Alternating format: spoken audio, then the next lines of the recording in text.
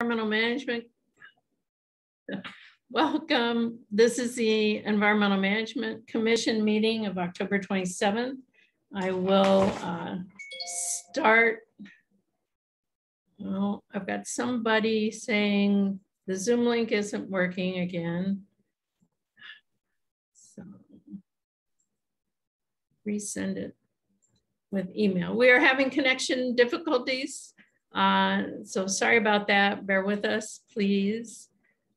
Um,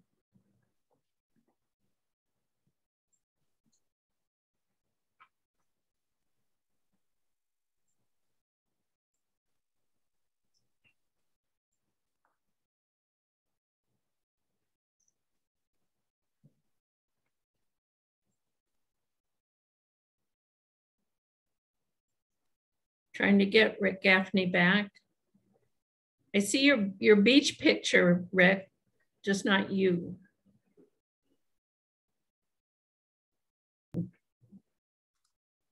Yeah. Okay, um, after a slight delay, technical delay, which hopefully will uh, not occur again, welcome to the Environmental Management Commission meeting of October 27th. Um, I am going to call roll because I think we've got a quorum present. Um, District one is uh, John Burns. Say aye or wave. Aye.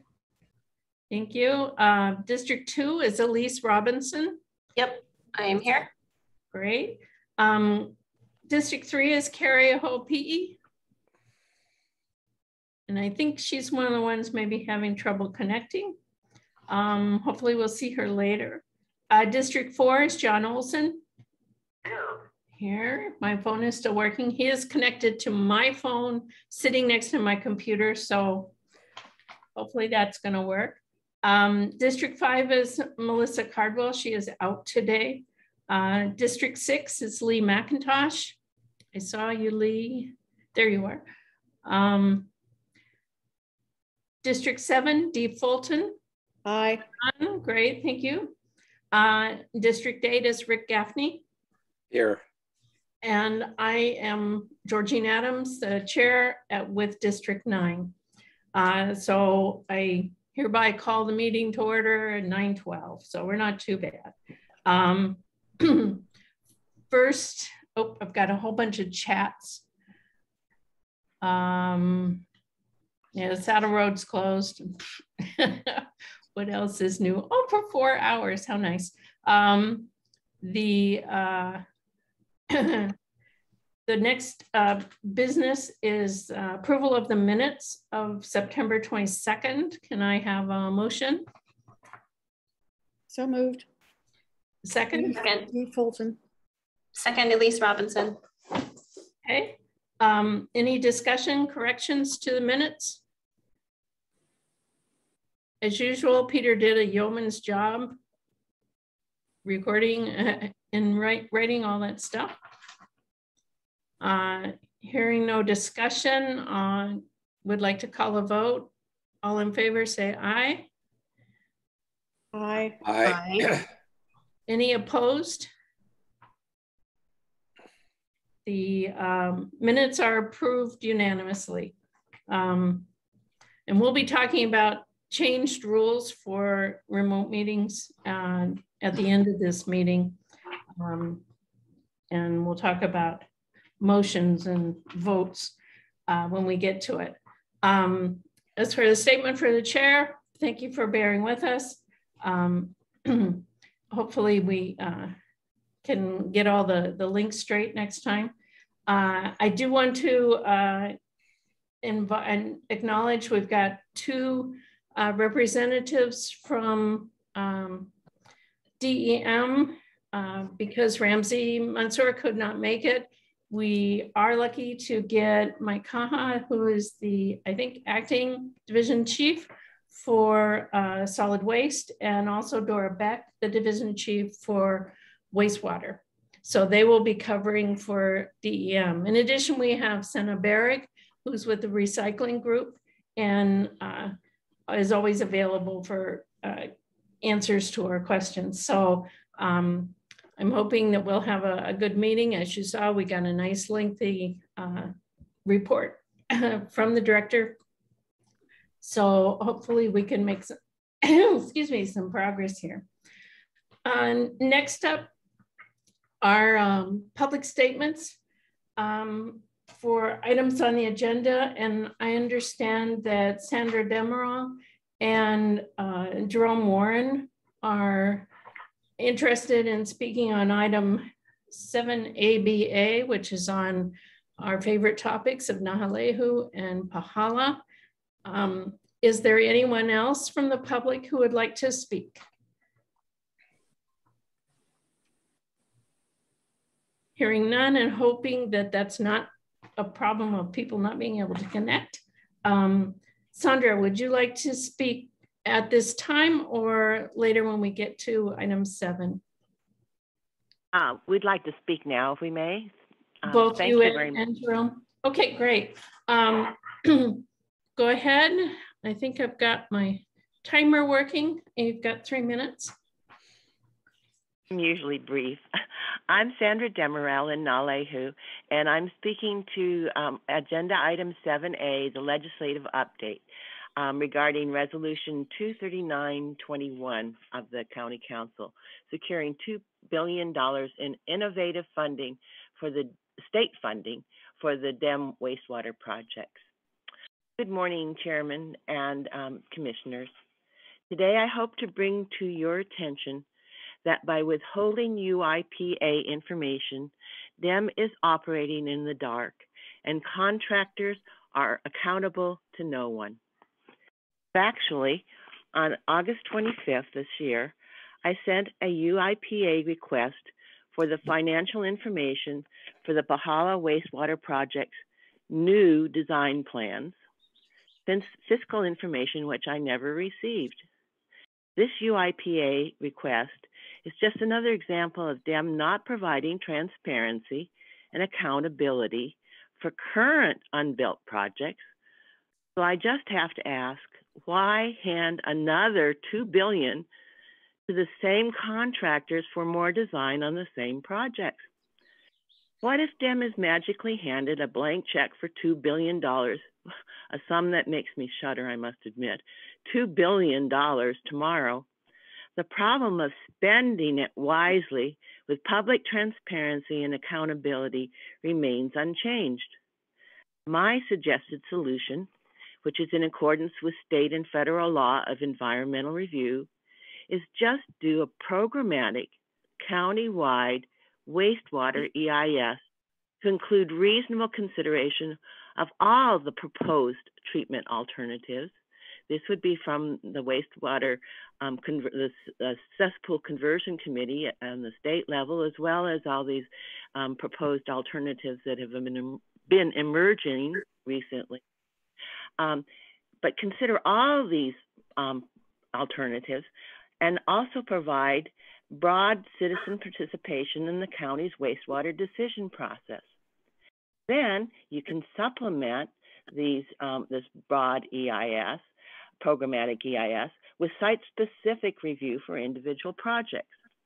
This way, DEM can stop paying contractors to waste time and money on endless designs that are never built, like in Pahala. I mean, how could Brown and Caldwell not see that there was a slope there and understand that the people were telling them that there's lava tubes. Is this is not a surprise. Mahalo for your attention to my suggestion to do a broad programmatic EIS for all the county wastewater alternatives before throwing good money after bad. Thank you. Thank you very much, Sandra. Um, I think we may uh, touch on this in the discussion on uh, legislative issues, if you can hang in there for the meeting. Um, Jerome, you have three minutes. I'm Jerome Warren in Naalehu. Uh, item 7B. Uh, my written testimony was published in the Hilo newspaper. Today, the director is vague about the Naalehu sewer project. I will talk to any commissioner about the project. My number is in the phone book. I have letters telling from I have letters telling me that the construction will start in 2011 and 2013.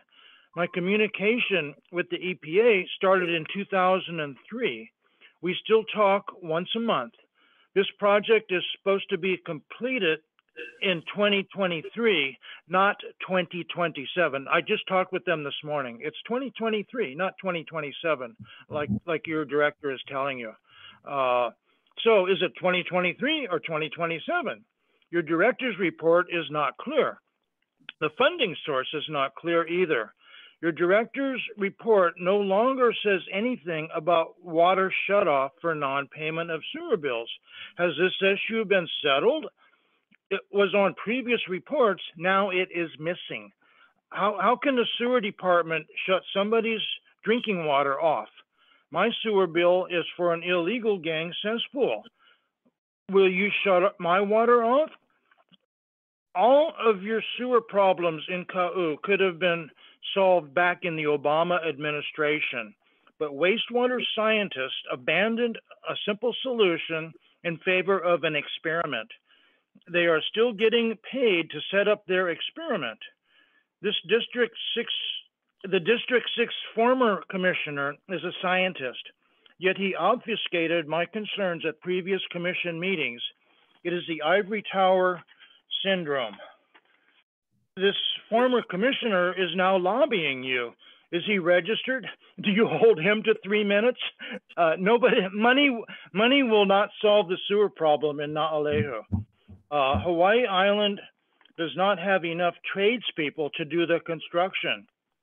Big Island tradespeople need to work on failing infrastructure in Hilo and Kona, not a wastewater utopia in Naalehu. And how will this project affect the town's bypass route?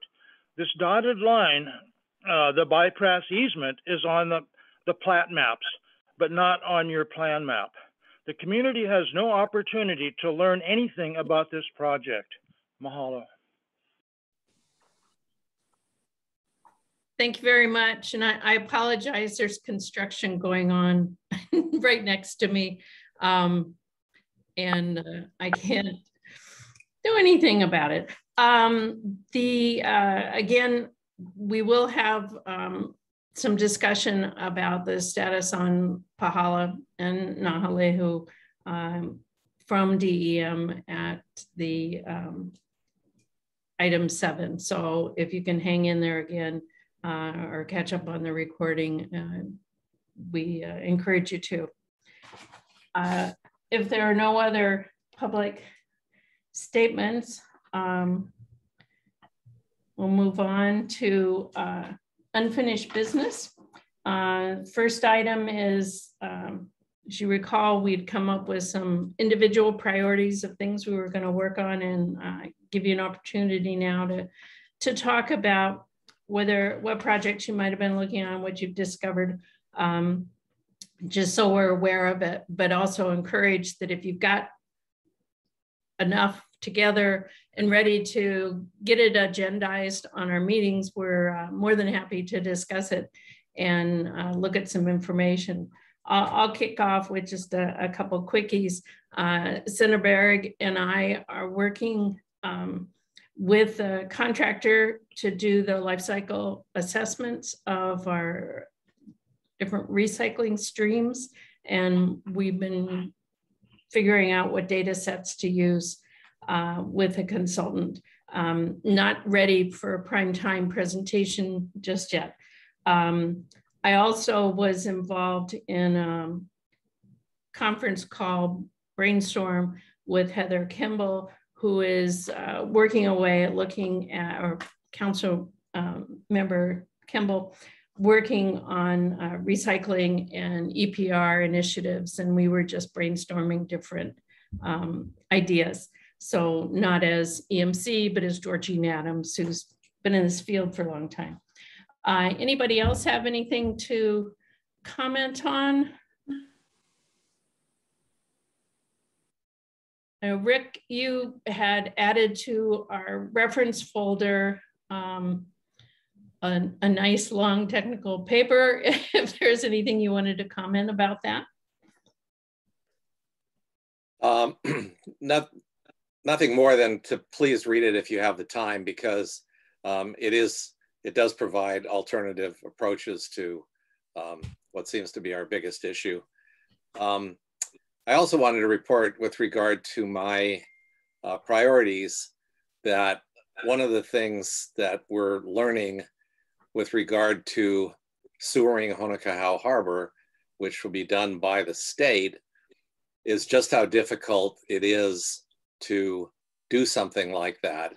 Um, even though there's all this talk about trillions of dollars of federal money being available, um, the truth is that if you actually begin to pursue some of those dollars um, through the various grants that are available from EPA, from Economic Development Authority, from Department of Agriculture, and so on, um, it quickly uh, becomes extremely difficult um, because of the information that's needed for the applications, and also because I mean one of the one of the meetings that um, Jerome Nickerson, who's the Hawaii District Manager for the boating division, one of the meetings that he went to uh, nationwide pursuing uh, EDA funding, Economic Development Authority funding, uh, there were 17,000 people on the call.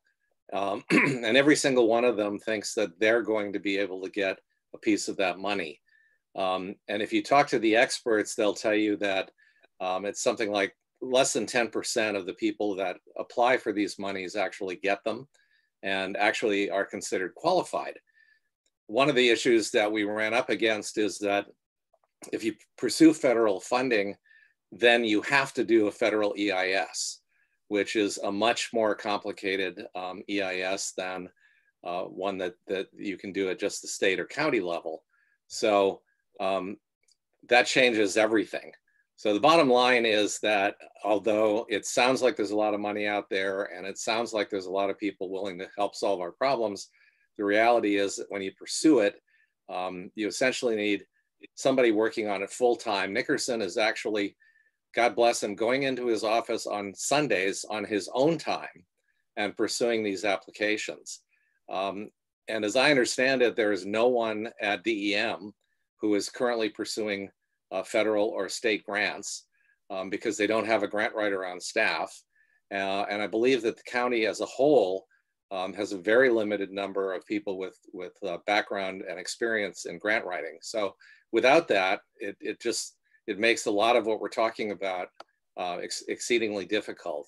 So um, we need to, we need to consider all of the, the different ways that uh, funding could possibly be available to us. And um, one of those is public-private partnerships. And um, there is some reluctance on the county's part uh, the county presumes that the Kono decision prevents them from doing public-private partnerships, but that's apparently not correct because City and County of Honolulu is regularly doing public uh, public-private partnerships for wastewater management. So um, it is an option for us, and we need to get past this uh, roadblock at the county level that says we can't, um, because there are some obvious places, uh, Keauhou, um, and the tail end of uh, Ali'i Drive and also Puako um, are obvious places where a public-private partnership could solve an immediate problem. So that's that's my report. Okay, thank you, Rick. I think um, we might circle around uh, again when we uh, get to the um, wastewater discussion with DEM.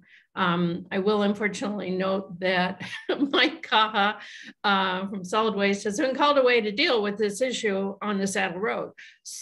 So we'll see whether or not he can come back uh, to help deal with that. Um, life is just beyond crazy. Um, anybody else like to report? If not, We'll move on to the fact that we did send on the 20th um, the letter about the Kealakehe wastewater uh, treatment. It's in the package in the reference file.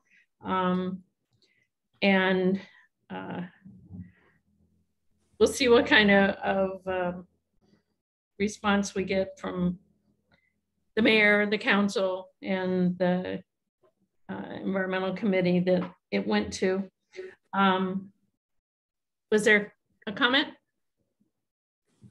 Nope, okay. Um, you my, my construction guys next door are having fun. Um, so next up, I think um, I'd like to share my screen if I can for um, discussion on solid waste funding and recognize that, is this gonna work? Can you see the whole thing? Um, the same kind of concepts may or may not uh, apply as well to wastewater. Uh, and I will remind you that we've, we've sent three different letters now um, dealing with wastewater funding, and maybe we need even more. Um, but the same kind of thing may be appropriate now to uh, do around solid waste. So this is just kind of trying to wrap up different ideas on uh, where we think the county can focus on um, solid waste funding. I presented at the July meeting, EMC meeting, kind of the breakdown of where the money's coming from right now. Um, mostly the, the general fund property tax. Um, got some coming in on tipping fees, but only on commercial. Recycling gets just a piddle. And even though there is a CIP list of over a billion dollars of, of projects that need to be done, um, that money doesn't happen automatically. It needs to be funded and is subject to the political winds uh, of the time. Um, so I think where we were leaning was to think not only of wastewater as an enterprise fund, but also solid waste management, which is basically treating this as a business with fees for service to manage our solid waste um, with the preferable goal of keeping it out of the landfill um, and certainly out of our, our land and water if we can. So um, I'll assume you guys all, all recall what we meant by enterprise fund. But what I what I put in here are the different ways that an enterprise fund would look at how do we get more money. Um, I also have to say personally that the the amount of money that's necessary for solid waste is peanuts next to what we need for managing wastewater. Um, but nevertheless, it's important. It's important to the the community and to our aina. So um, plugging right along. One approach is to up the, the tipping fees. We have been over a series, I think it was five years, upping the, the amount for tipping fees at the landfill, know, 2% a year. And there another range of increases is going to have to come and be approved by council. Um, and you can bump it up. Uh, hopefully we'll hear some discussion about the residential hauler credit um, that was uh, previously removed, i.e. if you were a commercial hauler and you were taking residential waste, you didn't have to pay a tipping fee. That got reversed, squawks were made, and now the, the uh, DEM is looking at reinstating that credit. But it's a chunk of change that could be um, brought to bear to, to costs. Um, another thing is, is looking at increased fees for special waste, not the humdrum stuff, but the things that need special handling, um, special uh, concentration and, and control, um, or to penalize people who are dumping uh, into landfill things that could be recycled. Um, what uh, a point that Ramzi made at the um, council meetings he's been at recently is that um, the tipping fees were not built really to to um, increase with inflation, um, and so trying to build that in and make sure, especially now since we are seeing inflation really high, um, that that gets worked in. pay as you throw. Um, pay as you throw was brought up in the uh, solid waste advisory committee and um, was not selected as a high, high priority, but was in there as a recommendation to look at. Um, and if, if people are interested, I can certainly provide some more information to it. But basically, it's incentivizing people to reduce the amount of waste they're putting in the landfill and increasing their uh, recycle uh, because there's a real price differential. It's going to cost you more if you're just throwing it away as trash as opposed to recycling it. Better yet, you don't make it in the first place.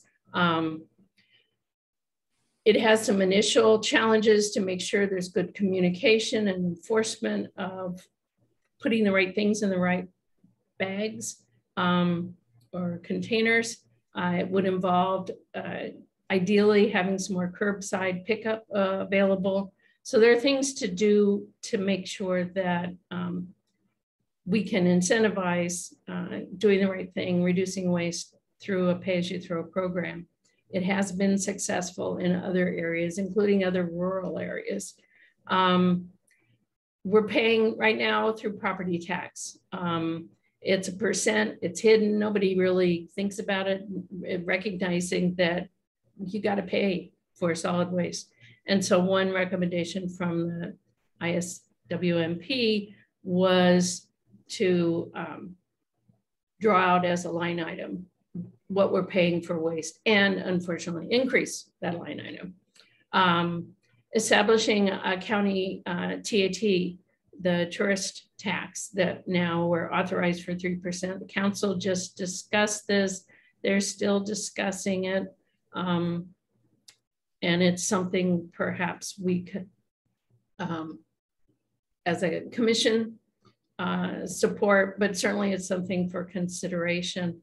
I personally submitted some comments about uh, using a portion of the TAT to cover solid waste um, issues that tourists bring to the island. Um, Extended producer responsibility, we spend a fair amount of time talking about that. I say Heather Kimball is very interested uh, and we'll be taking it to the um, Hawaii County, can't remember the name of it, HSAC, whatever that, that group of county interests uh, for looking at state legislation. I, I think it's going to be very difficult to pull off as a uh, county effort. I think it's a state effort. Um, and there are lots of categories that we could look at. Uh, waste reduction programs, I think we've talked about. Um, there are lots more things. Checking to make sure it wasn't a chat that showed up I need to respond to. Um, increasing recycling opportunities, um, get some more education out there so people think first to not generate waste in the first place, um, expanding our, our capabilities to uh, reuse materials. Uh, B2B is business to business, uh, exchanges of material that could be supported by the county. Um, and the, the policy issue uh, and bans. I'm personally not a fan of bans, but they are a tool. Um, but I do want to remind everybody that organics is our biggest uh, landfill proportion, followed by paper and construction and demolition waste. Um, plastics are 10%, less than 10%. And you can argue maybe it's 12%, maybe it's 11%. It isn't a big deal. The others are twice as much, if not four times as much. Um, but bans are, are certainly an option for us to look at. And then John Olson's uh, favorite, which is the point of sale service fee on products. Um, the more complex it is, the more it costs to administer it. I wrote down here just some of the issues I think we need to think through. I heard Ramzi at some meeting or other said, well, if we could charge 10 cents or 15 cents a pound for everything that comes onto this island, um, we could cover our solid waste. I don't know where you got that number and whether or not it's realistic, but administering a program to collect this fee, if it's even possible to do at council, uh, county level, um, would take some work. Um, we were just talking about getting grants. Grants are wonderful when they happen. They are work. There's an art to getting a grant, and they really aren't a good sustainable source of money. Um, and you got to pay people who know how to get those grants. Um, and here's what Rick was talking about on the, the wastewater side, the public-private partnerships and how can we uh, get that to happen. Um, those of you who might have listened to the most recent council meeting, um, when uh, Heather Kimball raised the issue of uh, potentially looking at the Kono decision by the HSAC, the county group, um, she got some blowback on it. And it is an issue in this county, um, particularly, uh, and I think there needs to, to continue to be work on how can we make it happen um, so that we can get the things done that we need to get done and not be held uh, back by uh, unreasonable restrictions when it's so hard to find qualified people to um, take all the, the openings that we've got. We've got current contracts in place. As you know, the uh, waste management that runs our landfill, there is effort underway to renegotiate the contract that we have with them. But there are others as well that, that need some work um, and act as a, a, barrier to DEM being able to do their thing. Um, I was frustrated once upon a time to find out that schools can't work with PTA organizations to help do recycling. Um, they have to use the county contractor um, because they're a public entity. And that just seems really dumb to me. we, we, need to figure out a way to do that um, better. We need to make sure that practices are safe, but um, we need every option available to us to look at it. Um, as we did with the wastewater, uh, looking at how you can leverage those energy saving performance contracts, uh, cutting the time it takes to find a contractor and wrap it up because everything involves energy. So if you have an energy savings, um, there may be some efficiencies to uh, leveraging funding or reducing costs through that mechanism. Um, and just looking at innovative technologies. Again, at the SWAC, the in fact, it was a DEM who was reluctant to look at implementing innovative technologies. Let somebody else prove it, and then we'll adopt it. Um, but I, I, I, would hope that we'd still keep an open eye out on uh, new ways, new technologies. Again, partnering with companies to um, try some new technologies that would work here on this island, given what we've got um, and don't have. Um, but I, unfortunately, a lot of this partnership work needs somebody at DEM who can be the staff person, the oversight person, and work with these contractors and private organizations. And we don't have enough people in DEM to do that kind of work with the expertise needed, even just to, to uh, oversee that stuff. Um, this last one, recycling market development centers, that is looking at ways that the county could connect up different um, partners, knowing what waste we've got and who needs what kind of materials, and being more active in terms of uh, developing markets. So that was that was my big laundry list, um, trying to coalesce it and open to comments, additions, questions. Georgine, I, I have a question. Um, I think it's implied, by the way, this is excellent work, thanks. Um, and I think it's implied in here, um, but maybe not stated directly, that there are uh, profit opportunities from waste materials. Um, in with wastewater, if we clean it up to um, the right standards, people will buy it. Um, and there are certainly compost um, and mulch opportunities. There are contractors, or there are companies already in existence on this island that use uh, the mulch from our landfills and turn it into something that their clients pay for. Um, so I think it needs to be stated. There you go.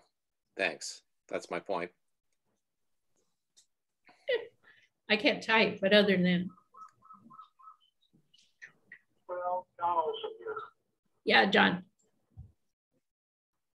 Um, my involvement with the community on a, on a broader basis starts and ends with our solid waste and wastewater issues in Florida. Um, I showed up down here in the, around 90, 89, 90. And Puna was filled with illegal dumping sites, mounds of abandoned vehicles, and a community that has been um,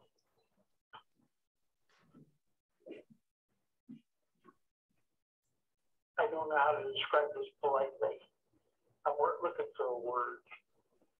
Used is the simplest thing.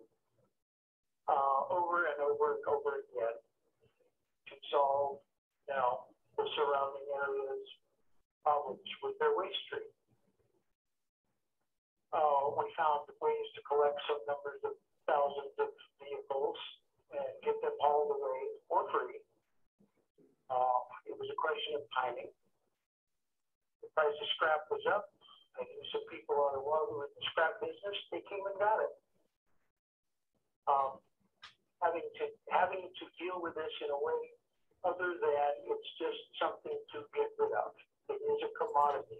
That's it always comes back to the money. Show me the money. Um, there are ways to monetize all of this, and that's I, my opinion. That's where we need to start. Understanding that this is it, is strictly a problem of money. And who is going to pay and what they're going to pay, and take that approach.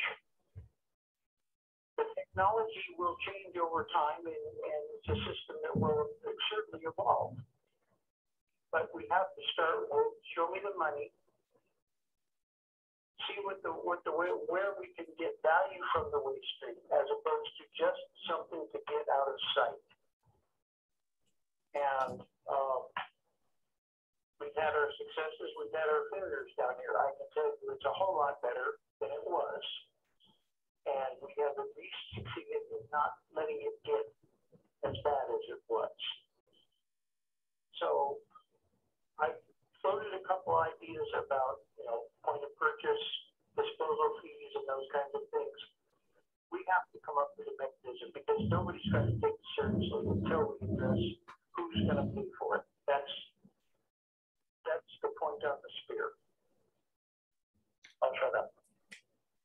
Okay, and, and I guess I would say that the idea of, you know, repurposing our current waste, just as we said in our, our letter, recent letter on uh, we need to start thinking about uh, wastewater as a resource. Look at it isn't waste, it's resource management. Instead of just saying, oh, I can't be bothered with thinking another somebody who might need this stuff. I'm just going to pitch it. We've got to set up systems that can do resource management. And that may be this idea of finding markets. You knew somebody who knew somebody who could connect and use that. That's a, a lot of what's happening on the mainland, at least, for these uh, exchanges between businesses.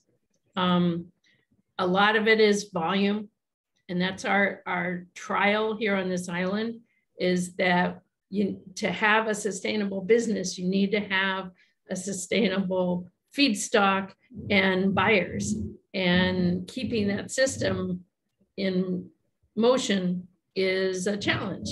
And who's going to do it? Because somebody's got to make enough money to spend their time doing it. John uh, Burns, you may have some commentary along those lines. We're not.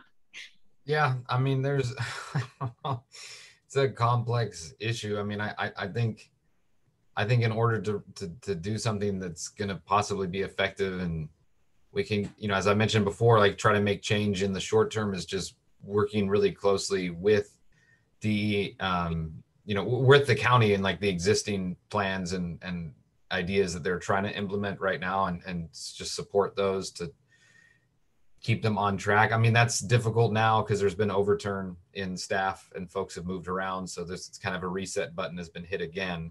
Um, but you know, I, I think it's interesting because so many of the ideas that we discuss and that, that people comment on from the public, it often overlaps these. Um, I, I, think sometimes it's just an issue of, of PR in the sense that the county doesn't necessarily have the time or resources to make it clear and, and accessible to everyone what they're working on and what they're trying to do. Um, and that's a conduit we could be here is, is sort of just making things more of, uh, I don't know, aware in the public sector and then also promoting, you know, what seems reasonable and useful to move forward. Uh, you know, just sort of being more specific too, like they're, they're the, the point of sale fees that they're working on, you know, like again, th- those would be ones that I think we would have the best likelihood of enacting in the near future versus ideas that are going to have to start fresh and go all the way through that process to become policy. So in that case, what you're talking about are, are the, the glass, uh, non-HI-5 glass, um, extending out the oils uh, as part of the DIY turn in. Yeah. And even some of the ideas they've had, you know, just charging for green waste for certain folks or having limited green waste times at specific locations, uh, you know, to ensure that people that are commercial operations that are using public disposals are paying properly. Um, you know, there, there's quite a few. Um, like I said, it's unfortunate that it's sort of like a reset with staff shifting dramatically that were spearheading these efforts. So I, I think now it's almost you know going to require going back to those folks once they're the new individuals are on board and, and trying to identify what are their priorities, what do we think are the priorities that are most important to push forward, and then working with them to, to publicize those and get the support in order to make it happen.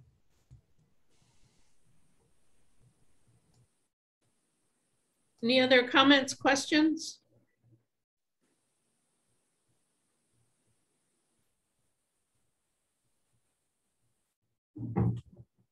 And what I'd like to do uh, next is just say, okay, now what? Um, is there value? And I understand that my Kaha is back. I'm going to stop sharing. Um, is back online. Um, what would you like us to do with these thoughts? Um, is there something that we uh, would would it be good for us to write up here are the recommendations we uh, have at this time on, on priorities um, or just rah rah keep going find somebody to fill all those holes you've got. Um, what do you think mike? You're muted. Um, thank you very much for um, the opportunity to speak. Um, before I get started, um, again, um, Ramzi asked me to join in and, and he apologizes for not being available, but it was something that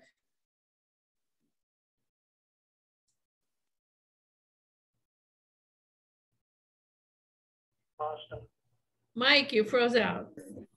Yeah, I got kicked out there for a little bit. Am I back on? Can everybody hear me? I can hear you, although it says you're muted, but I can hear you. Okay. I just I just wanted to say um, again that Ramzi and Brenda apologized. They they had to be away for you know um, something that was required for them to be at some training, and um, I was happy to attend. Um, some of the things that was of me to definitely take some notes down and bring it back to Ramzi. Um, I definitely would like to um, offer up some of the things that you guys are asking about. and I apologize. I thought I found a quiet place to be. Anyways, um, yeah, the department would welcome any kind of help that we could get. It's it's obviously a, a particularly difficult time for our budget, and and uh, as John had pointed out, it's it's never an easy um, thing trying to talk about these issues and then also bring in the the subject of how do you pay for it all, right? It's it's never an easy thing to discuss, um, but that's the unfortunate part of it. Um, having somebody to help kind of plan out a lot of these these discussions um, about what to do with recycling and so on and so forth um, takes money and and um, it's it, it's quite difficult to continue doing. Um, I, I just a few numbers I just wanted to point out here, um, just to kind of give everybody a, an idea of what we're talking about. So our, you know, we we really value, you know, I, I live here on the island, you know, many years, just like everybody else here, um, value the scrap metal program. Um, it's something that everybody wants, but there's a there's a you know there's a number to that, right? It's it's over half a million dollars that we need to you know, and, and it's better. It's it was up to about a million dollars at one point um, that you have to put money towards, um, and we continue to try to bring that program out to everybody. Um, we have you know we want to continue, but it's it's very difficult and I only share this with everybody here, is just that it's it's, it's things we need to all face. Um, in my household, you know, I might want to have HBO, I want I might want to have all these things, but I only got so much money in, in the in the bank. Um, metal is metal is not something that is prohibited from our landfills. Um, is this something that we want to continue doing right now, or do we want to put that towards other things? Um, it's just, I'm not suggesting one thing or another. It's just hard decisions that need to be made. What is the priorities? Do we want to put, put it towards? Is it UMO? Is it plastics? You know, what, what is it exactly that we want to do with the money that we have? So um, again, I, I want to, again,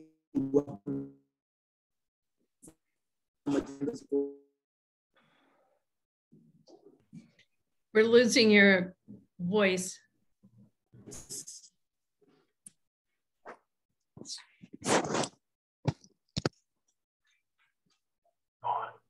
You're frozen again, Mike.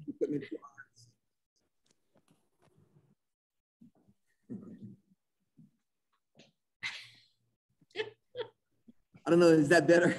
That's better. That's better. Anyways, I, I just wanted to put that out there. I, I don't have anything specific to add to, to any of the discussion other than I'm I'm I'm liking what I'm hearing. Uh, I really I'm just trying to collect the notes and just add my voice to what everybody else is saying here when I get together with uh, Ramzi and Brenda. Well, I guess I, I, I would ask the the commissioners. Would you like something formal? Obviously, I've written this up, and Ramzi's got a copy of it. Are there additions you would like to make uh, to it. I Absolutely. Um, so some of the things that Ramzi is helping the department with, the division with right now, is to try to get some more um, bodies administratively, you know, to kind of push a lot of our plans through. So we were, you know, earlier I had heard from Jeremy, you know, um, he, his concern was that there's always these plans, plans, plans, plans, plans, and nothing seems to be moving forward.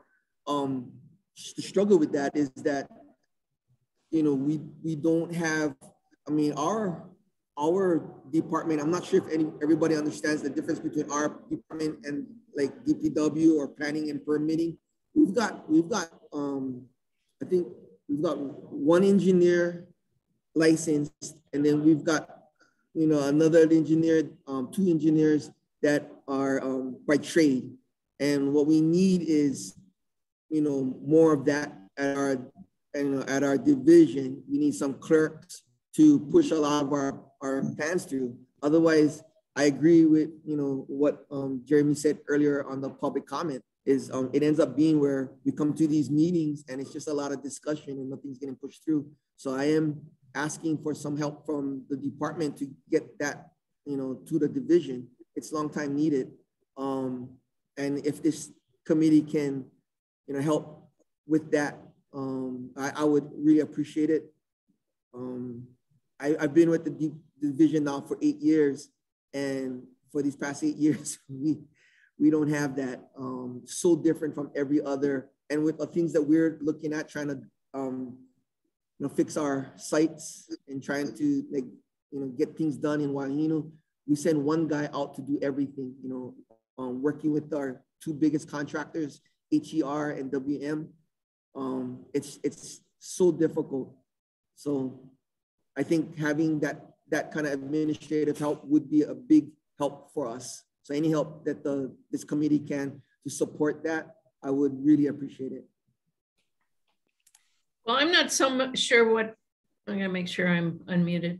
Um, we can do, if we happen to know individuals who could apply for positions, my impression from the council is that they were likewise supportive of the positions that are open.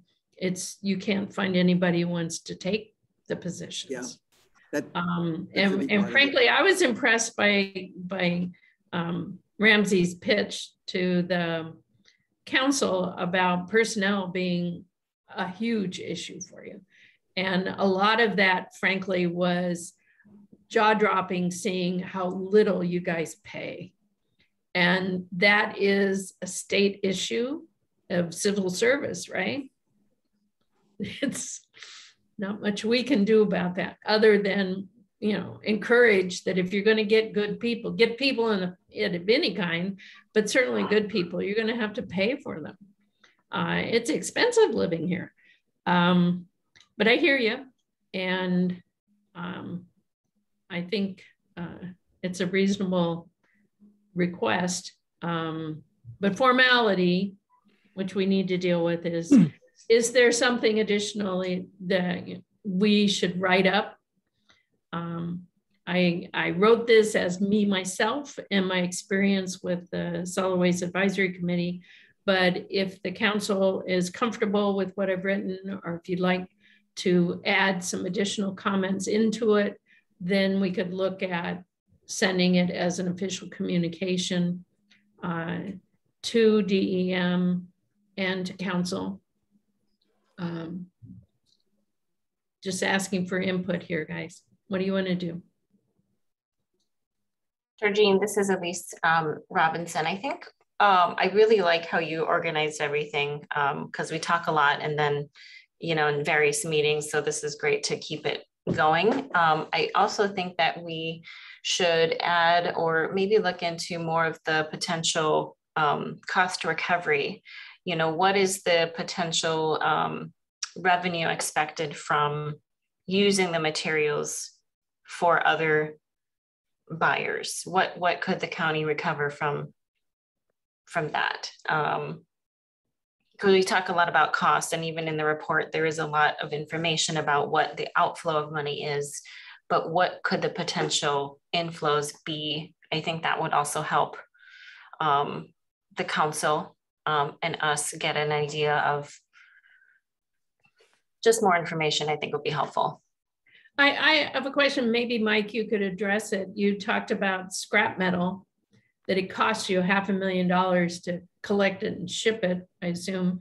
Um, are you getting paid for it?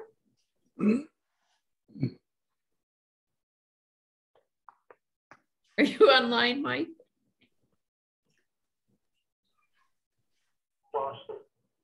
You're frozen It's again, frozen. Mike.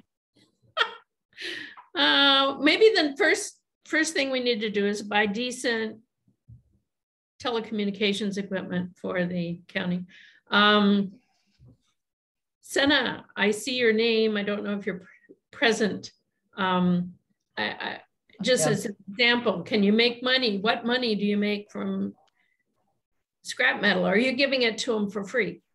I don't know the answer to that. Okay. Sorry. Well, I hope that we're not, but, and as soon as I'm done here, I'm gonna find I'm out. hearing, I'm hearing John Olson piping in. Yes, John? somebody who's been in the scrap business, and, you know, supply and demand. Yeah. In the scrap metal business, you sit on the, on the product until the price goes to the level you want it to, based on the amount of space you have to store it. And then you sell it. And then you start replacing the pile again. You know, and it's, it, it's a commodity. I got oranges and you want oranges, and, and I find out how bad you want those oranges, and that's what it costs you. but we don't do it like that. We're not handling this like it is a valued commodity, and that's across the board. And, and frankly, I, you know, government isn't in a position, that isn't what they're best at doing by its nature. So the, the whole setup here, um, it, it's the best that 1950 can bring you. really, I mean, it, you know. I hear you. I hear you. Well, and and that's why. No way matches the reality of what I see when I walk out the door. You know, and you can get, uh, you, you know, the internet. Hey, you can get the price of what what they're paying for scrap steel around the world and look, look in an instant to see who's paying the most for what. But we're not set up to do that. We have to beg somebody to take it away. Right. That's nuts. Well, and and that was kind of that last bullet I put on the the document was these this concept of recycling market development centers. It's getting people who know that kind of business uh, together to monetize the it's not really waste, it's a resource stuff that we are tossing. Um, just, just to put a point on it, sure.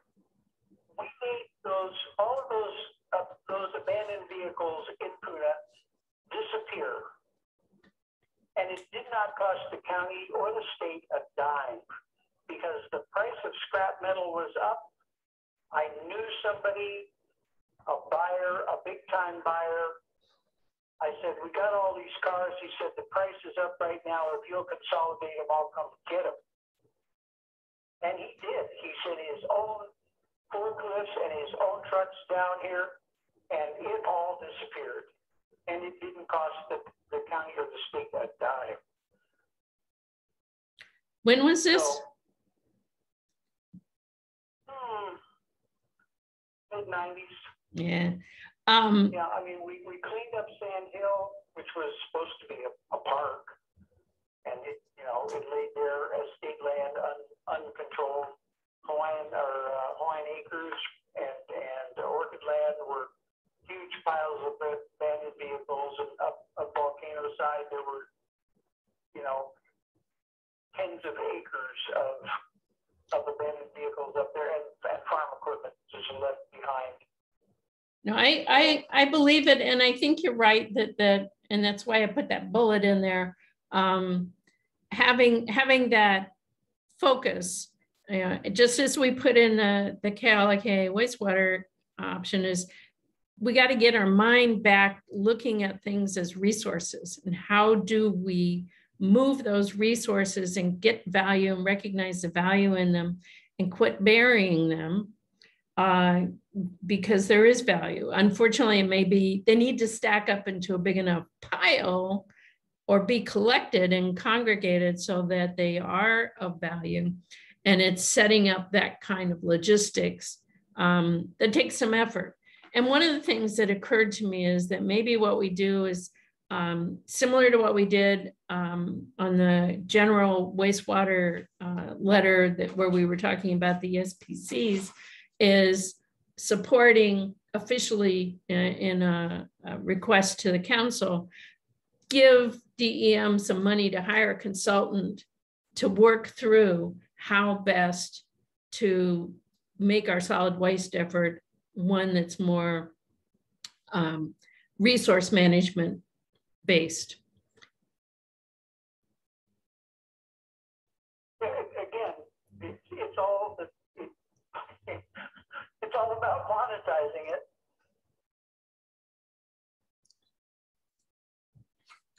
Well, I'm trying to, I need to, to wrap up um, yeah. this part of the discussion of just, you know, what, what are the next steps, guys? Do we want to aim for a specific letter that I send to everybody and his brother? Um, do we leave it as just collecting comments and we periodically share this and our thoughts with DEM informally. Um, Yeah, Georgine, this is Elise. I think we're not positioned yet to make any recommendations, solid recommendations to DEM. Um, and I would like to see this conversation continue. Okay. Mhm. Anybody else? Well, I mean, I think, I think we should, we should, and I, I don't know, I'm not up on the legalities of this because I'm not sure exactly who this body works for. Um, we should be having some discussions with the county council because they hold the purse strings and anything that, anything that is gonna get started is gonna come down to where we get the money from. How do we get the money to do it? And we need to have that discussion with them. Somebody does. And I think we all need to be uh, involved in this and get more public input on it. I mean, the public is, these are the people that are, you and me, that are picking up the tab at the end. Well, I, John, I- go ahead, Elise. I just said I agree with John. Um, Georgine, sorry, I was just gonna make a, a comment. I mean, I think these are all good points. And I, I do really like the, the, having the unifying kind of document of these issues. That's super helpful and a big step in the right direction. I mean, one thing I, I do want to say though, I think again, you know, to go from discussions to promoting some positive change, simplicity can be very good in terms of, we could write a letter that could be extremely compelling uh, you know, but just in the discussions with Mike, if we touch on a lot of issues, it's it's unlikely we're gonna hit all of them at once, just considering the complexities of a single one. And so if we move to having more discussions, I think that's good. But one thing to consider moving towards might be picking just to start, just one, one issue we want to address in collaboration, you know, with the folks um, pushing these agendas. And to John's point, if it's one issue that is easier to bring that to county council, it is easier to push it all the way to being actuated. And it's not that we stop at one or we disregard the others. It's just trying to simplify the approach and saying, okay, let's write one letter in unison to support this idea. And here's a strategy that we're going to take to try push that to either getting enacted through DEM or, um, you know, going to county council and some legislation comes out of it. Um, so yeah, I, I just think maybe trying to target a singular issue and, and push that forward might actually help uh, get something completed in that regard. Well, we did, we were successful on life cycle assessment, um, which was one of the, the priorities uh, that we had come up with out of the um, Solid Waste Advisory Committee. Um, and part, partly, I, I was on that committee for a couple of years, so I'd like to think that we've got um, a lot of work was done in there, but there's still, it, it's the devil in the details and it's the lack of staff at DEM, solid waste, uh, as well as wastewater to actually execute. Um, Georgine, um, I'd like, I, I agree with John, um, for a couple of reasons, but one of them is if, if we continue to send letters to the council and the mayor and an answer to, to John's, um, previous statement with regard to, um, who do we work for? Uh, that's clear in the charter. We work for both. We're one of the few commissions that's directed to both the mayor and the council. Um, and with regard to that, the mayor does have on his staff a uh, someone whose entire focus is sustainability. And a lot of what we're talking about here is sustainability. We can't sustain our life on this island if we continue to bury ourselves in poisonous um, waste um, and not utilize the waste that's available to us. Um, I like John Burns' idea about approaching the council and the mayor um, with an individual suggestion because I think a lot a lot of times our letters give them a whole range of opportunities and ultimately that's lost in a very complex council process. Um, and they we basically get thank you for your letter and nothing else happens. So um, and specifically i would suggest we there there is an opportunity uh, for a waste management um, approach on this island that's a growing opportunity and that is the waste that's being produced by the two major aquaculture companies on this island. Um, they are both in uh, a, a major growth phase. They are both producing a high nutrient waste, and they are both looking for an opportunity for what to do with that waste. We also have a ton of green waste on this island, and mixing the high nutrient fish waste with the green waste will produce a quality product. Now, I can't price that out. I don't know what farmers would be willing to pay for it, but I sus suspect it would be pretty substantial on this island, um, where a lot of areas that farming is done where there's little to no soil, and they essentially need to build soil from scratch. So, um, and, I, and I know that both of those aquaculturists are looking for uh, assisting the county with that opportunity. So maybe what we ought to do is produce a letter that's to the county saying, okay, uh, these companies, Blue Ocean Mariculture and uh, Kohala Mountain Farms, um, have this high nutrient waste. We already have this green waste. We want to see a facility developed to combine the two into um, a, a production of a high nutrient compost for farmers that would be available for sale. One of the things the council is going to like about that is possibly, and I don't have the numbers, but possibly that would be a revenue generator for the waste management division. So um, that's kind of a combination of, of both John's ideas and um, and the, the, the, concept of sending an effective letter to the council that'll get something done as opposed to uh, a multi-idea letter that may just sit on a shelf like so many studies and, and not get followed through on. Well, I am somewhat slipping ahead to the next agenda item uh, was the idea of, you know, we heard from Mr. K at last meeting, um, and there are plenty of, of other um, recyclers, is to set up a, a special investigation group or an ad hoc committee for um, EMC to do some investigation and gather some information.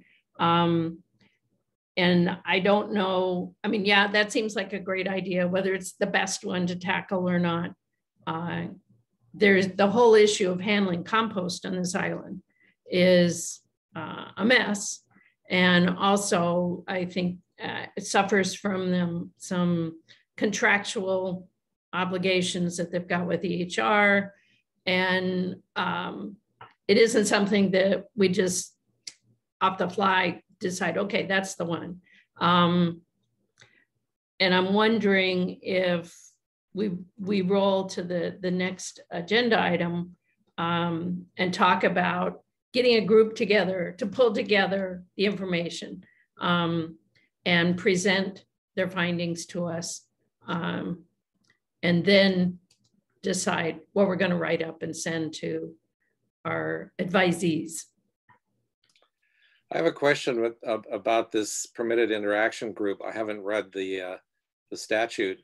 Um, would that include uh, people from outside of our commission? Can it legally?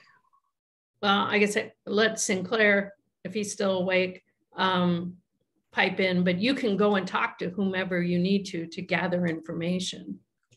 No, I meant about including them as a, as a committee member on the on this permitted interaction group. So a few things I heard earlier. So one thing I just want to correct is that um, per the Hawaii County Code, so I'll, I'll address Rick your question real quick after I just say something real quick on something I heard. So um, per the Hawaii County Code, the EMC can advise the Department of Environmental Management and then also provide um, comments and recommendations to the county council. So those are your two avenues to provide um, you guys thoughts, comments, and advice. Regarding the um, ad hoc committee, also called a permitted interaction group, um, that can only be members of the board. Um, but as chair mentioned, um, people on this uh, ad hoc committee can go and talk to whoever they want to gather information, but uh, members of the public that are not on the board cannot be on the uh, ad hoc committee. Thanks.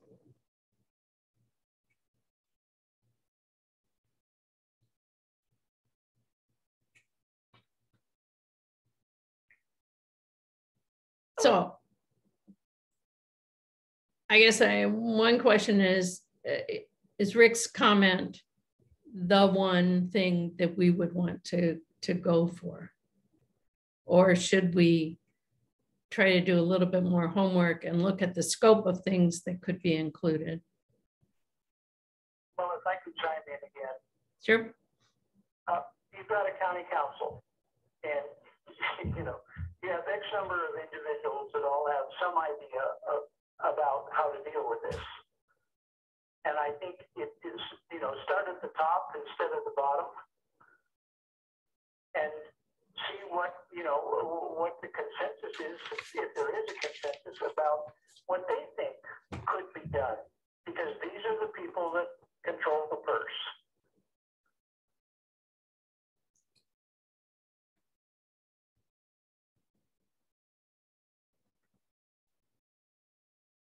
I guess I'm not sure about, uh, we're supposed to advise them and not necessarily they advise us. Well, but I mean, let's, let's get real. This is the real world. This has got to go back and forth.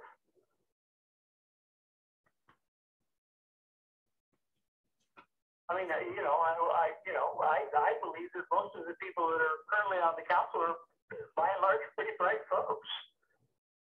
And they're just trying to figure it out.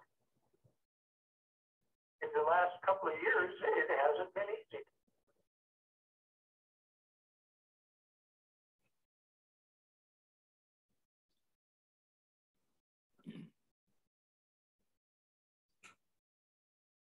And just trying to figure out what the logistics of doing that would be. And certainly individually, we can talk to our council members. Um, Oh, I certainly have talked to mine. Go ahead. No, I'm just saying that's one way to get that read and then bring it back to, to the commission uh, to decide whether there's a particular avenue we want to push. Well, I think that's in, in the, in the, following along the ideas that sooner is going to be better than later, the sooner we get that, those doors open to have open dialogue with what, what our elected officials are willing to support and not spending a lot of time and energy on things that, that look good to us, but we're not going to get any traction on. Take a win where you can get it.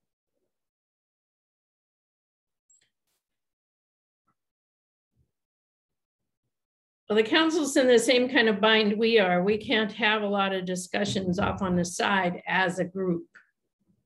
Right. It has to be all- discussion When we're all sitting, in- when we're all sitting at the table in public fora. in public forum. And not only this, but that, to me, that starts to build some public confidence in, we actually want to fix the problem.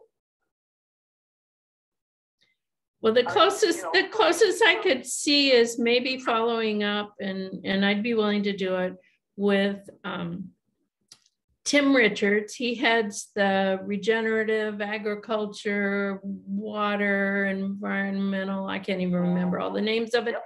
Um, and, and see whether or not there is a, a structure that he could see for that kind of conversation.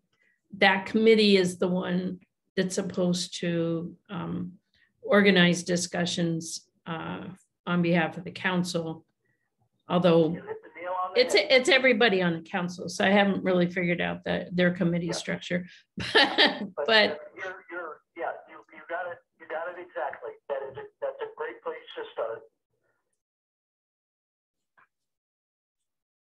I don't know, I guess uh, Is the You're question, Sinclair, the, you know, trying to find out how, how do we have just open discussions with the council, at least committee, on knocking around ideas? Well, I mean, we know what's wrong. It's a laundry list. That's why I wrote it up, trying to coalesce it. When you set out to, when you set out to fix things, the first thing you gotta know is what don't work. Well, we got that part.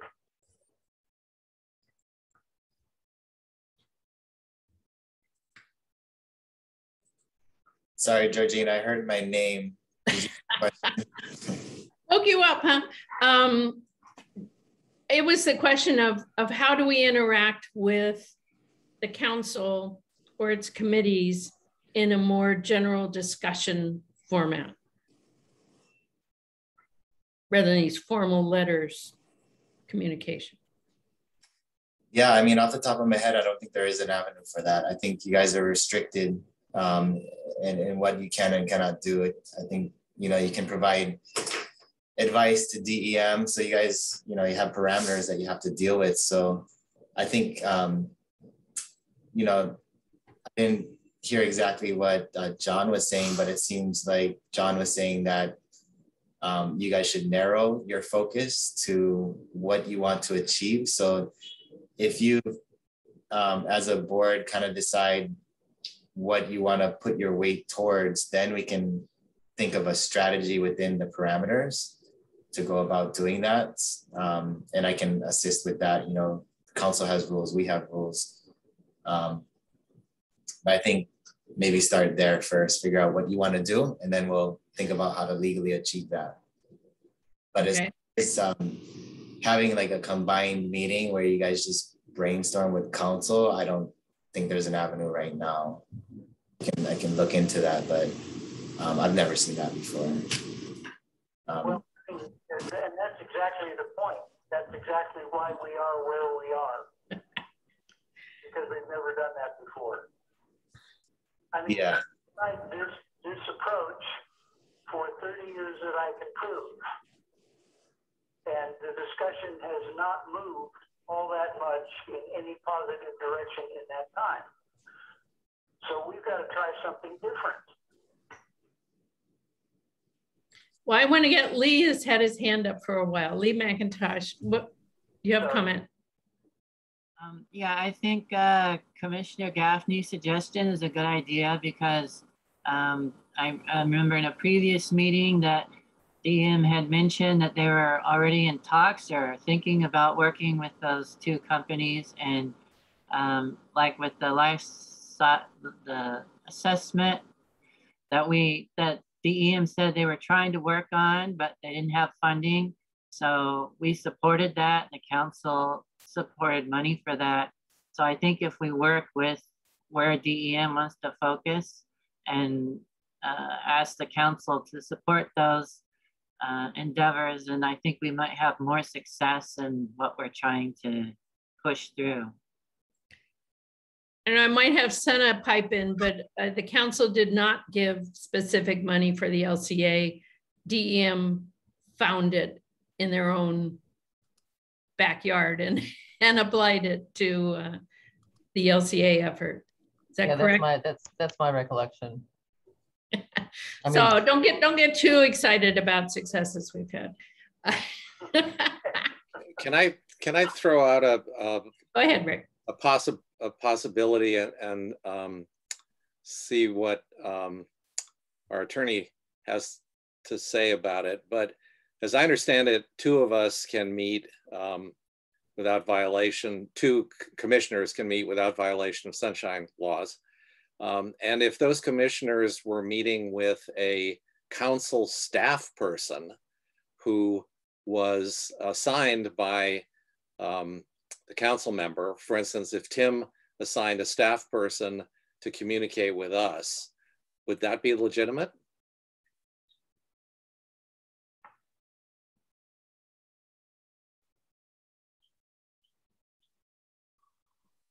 You're muted. Sorry about that. Sorry about that. It it really depends on what you guys. Um, so yeah, Sunshine allows two board members to uh, they can talk and meet outside of uh, the public meeting, but you can't make any agreement on anything. So um, you guys can go and meet and talk with whoever you want about whatever. As long as you're not making any agreement um, about anything regarding board business. So if you're just gathering information or just listening, um, that's fine. And I think um, there's probably something else on that that's tweaking in my brain right now, but um, let me look at the um, sunshine guide right now real quick, but that's my general understanding. And I'll I'll jump in and correct myself in a second. What, what I would recommend is if you've got someone that you'd like to work with, Rick, you write it up and send and, and present it to the commission for next month's review and approval? And you could send it out before we actually meet, but you know, what are the specifics that you're talking about? And then we could motion to accept or reject. Yeah, uh, I'm just thinking that if, if you're, if you're going to reach out to Tim Richards and he's the obvious connection between us and the council, um, the, the difference between our commission and the council is that each of the council members has staff people. Um, and if any of those staff people have time and they're assigned by their council member to do the work, um, that's something that we don't have you know, we're, we're just individuals um, providing um, our expertise, our knowledge, um, you know, communications with our uh, constituents. But um, what we don't have is, is paid staff that can pursue an idea. Um, and there's a lot of complexities to what I'm suggesting in, in turning this fish waste into a, a growing profit center for the county. Um, and I don't really think it's fair that one of us has to spend um, hundreds of hours gathering the information necessary. Um, I don't think it's appropriate uh, for us to have to do that. We already know that DEM can't do it. They don't have the staff, they don't have the time. Uh, Ramzi's interested um, because I brought the idea to him and he, and he expressed that interest, but whether or not he can proceed to the point of making the financial decisions to be able to come back to the council and say, you know, we think this can happen. If this happens, this happens. We need a we need land because the windrows that are going to produce this high value compost um, need to be substantial um, in size. So there, there's a lot of parameters to this that it really it needs somebody who has the time um, and I'm willing to throw ideas around, but I don't have time to pursue um, the tens or hundreds of hours necessary to come up with the specifics of this. And I don't think that any of us have the time to do that with any of our waste products. Um, and, yeah, and I'm not sure that Tim's staff does either. Um, I say I, I'd be willing to make the the contact with Tim and just find out what are ways that we could further explore? You know, as I said, I did talk with Heather Kimball, and she's doing her own brainstorming and touching base with people to collect information. But uh, again, there's only so far they can go. Uh, I'd be amazed if Tim would say, "Oh, sure, I got somebody I can give you a couple hundred hours to go doing research on." But um, I, I could ask. So I will do that. About how we do, can can do a, kind of a joint research project, if you will.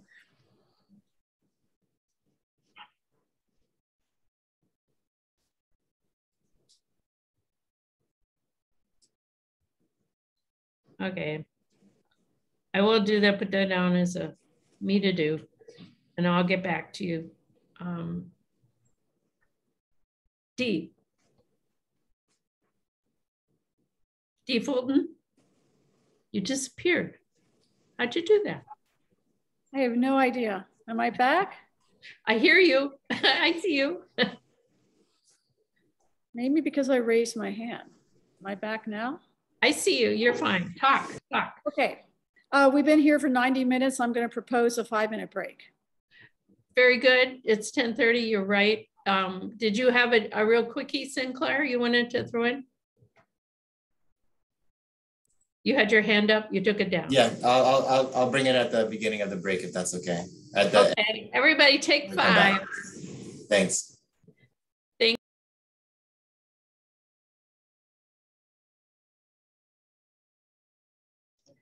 Sure, you're muted.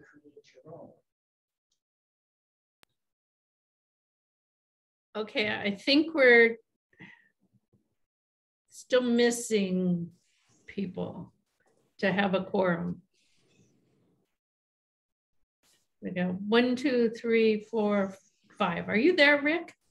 Or are you frozen? Yeah, you're there. Ah, John. Okay, we've got quorum.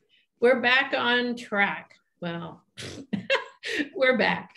Uh, Sinclair, you wanted to make a clarification or? I just want to make sure that what I was saying is accurate. You know, I'm always second guessing my memory and everything else. But yeah, so um, to, to Rick's question earlier, uh, yes, two members of the board can meet and discuss board business amongst themselves and they can, you know, have somebody else who's not a board member present and they can talk about things as long as they don't make any agreement to vote.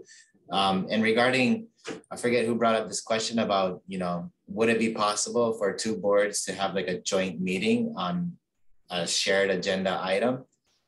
You know, I almost want to say, I, I feel like it could be possible. I haven't seen it happen yet, but um, that's something that could be looked into. You know, if the council had an agenda item, they wanted to talk about something and um, they wanted to have the entire EMC there. So I mean, maybe it's a possibility where there could have, be a joint meeting. Both um, boards have a meeting at the same time. I don't know if that's possible, but I was just thinking, huh, maybe it is. I don't know. Um, the other option that this board has is we have those ad hoc committees, which uh, Georgine we talked about before. There's also another form of an ad hoc committee where the board can assign two or more of its members, but less than the number of members that would constitute a quorum of the board to present, discuss, or negotiate any position that the board has adopted. So this board could create an ad hoc committee to um, go to council and advise them on something if they had it on their agenda. It's just another option. So there's there's quite a few options. It just depends on on what you guys want to do and how you want to do it. Anyway, I hope that helps. Okay.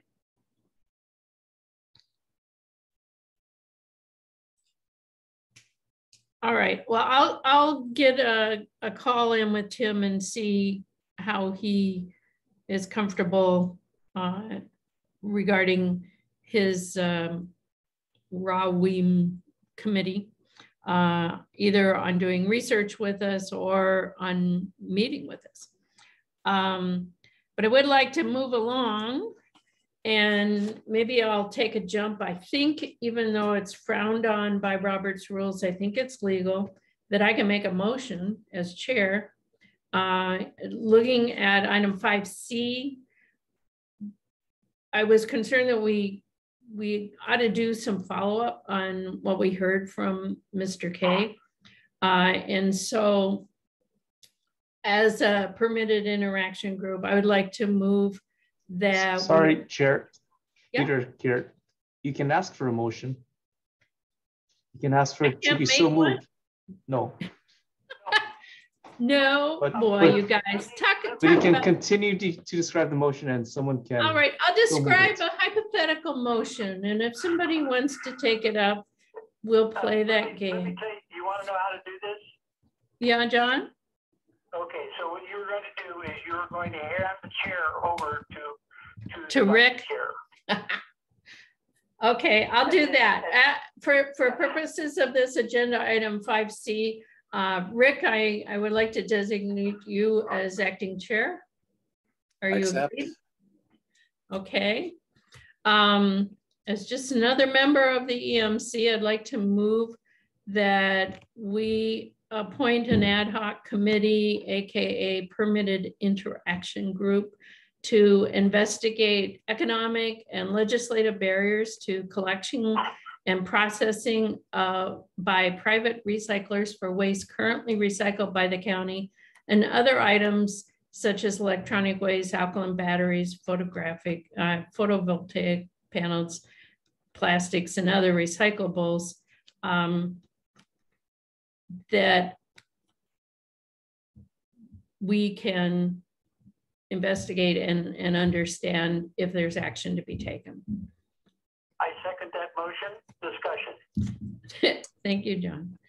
We have a motion and a second, and uh, we're open for discussion.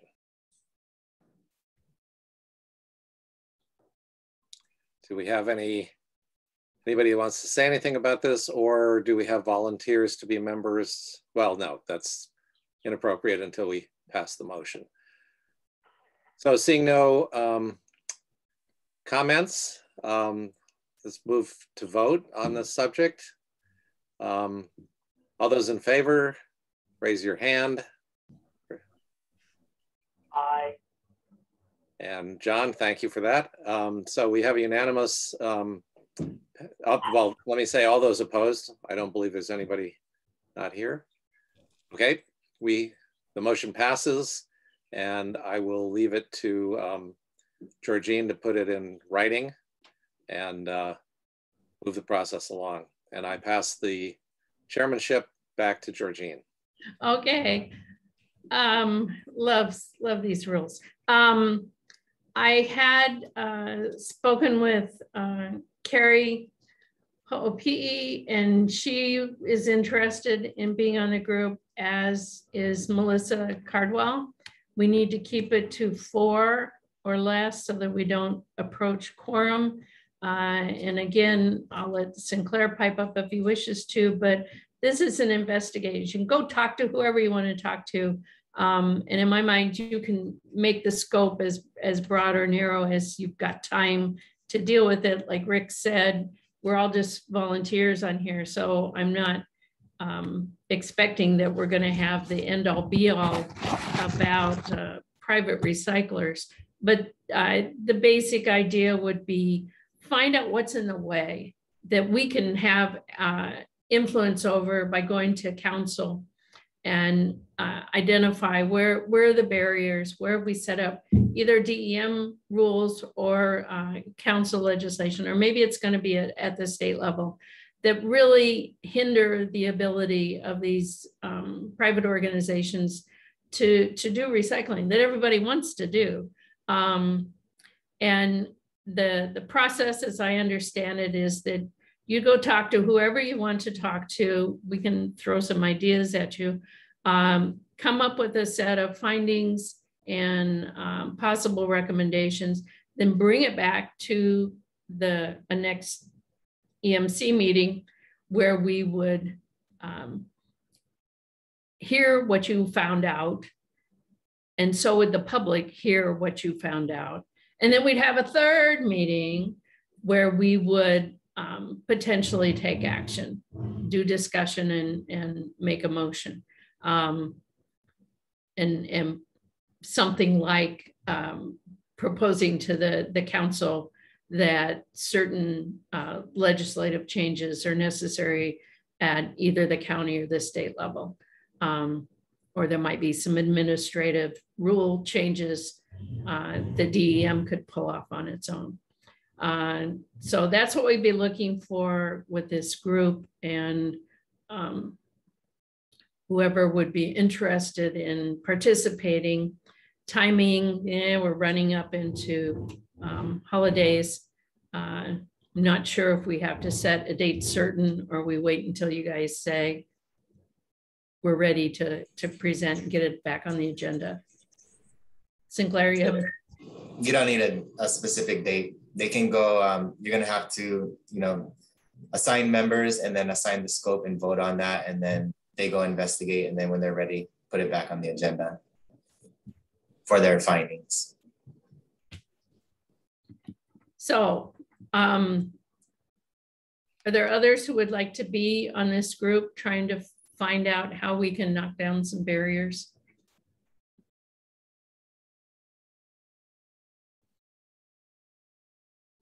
You're not I mean, all raising your hand. Connectivity is always my problem. Yeah.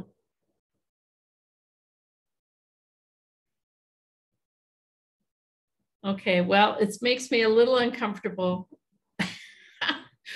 putting out people who aren't here, but they did say that they were interested um, and uh, may have some questions on scope. Um, but I would uh, nominate um, Melissa Cardwell and Carrie Ho'opi'i and myself to be on this ad hoc committee slash PIG permitted investigation group. And I guess that needs to be a motion.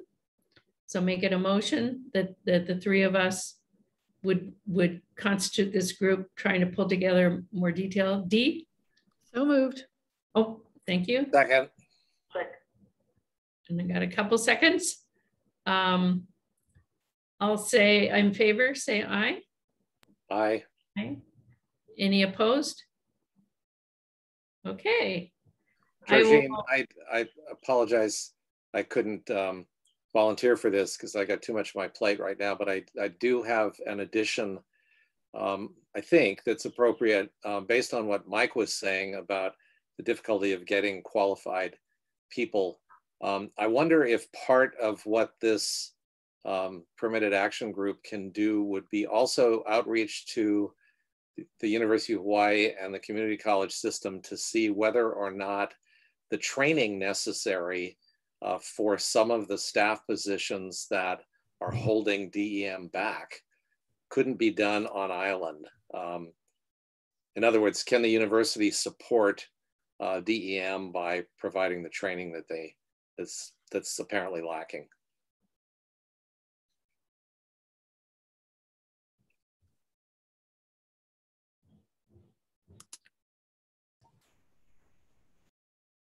I guess it could be couched as part of the economic barriers. Well, as I understood it from Mike, it's an educational barrier. Um, the skill sets that are necessary are being trained here. Yeah, this is more from the perspective of the, the recyclers that exist on this island, whether it's scrap metal, Mr. K's, Atlas, um, perhaps the DIY oil people, um, e-waste where, where it goes over to Enviro Services. Um, what are, what's keeping them from taking in more recyclables is the focus of this group.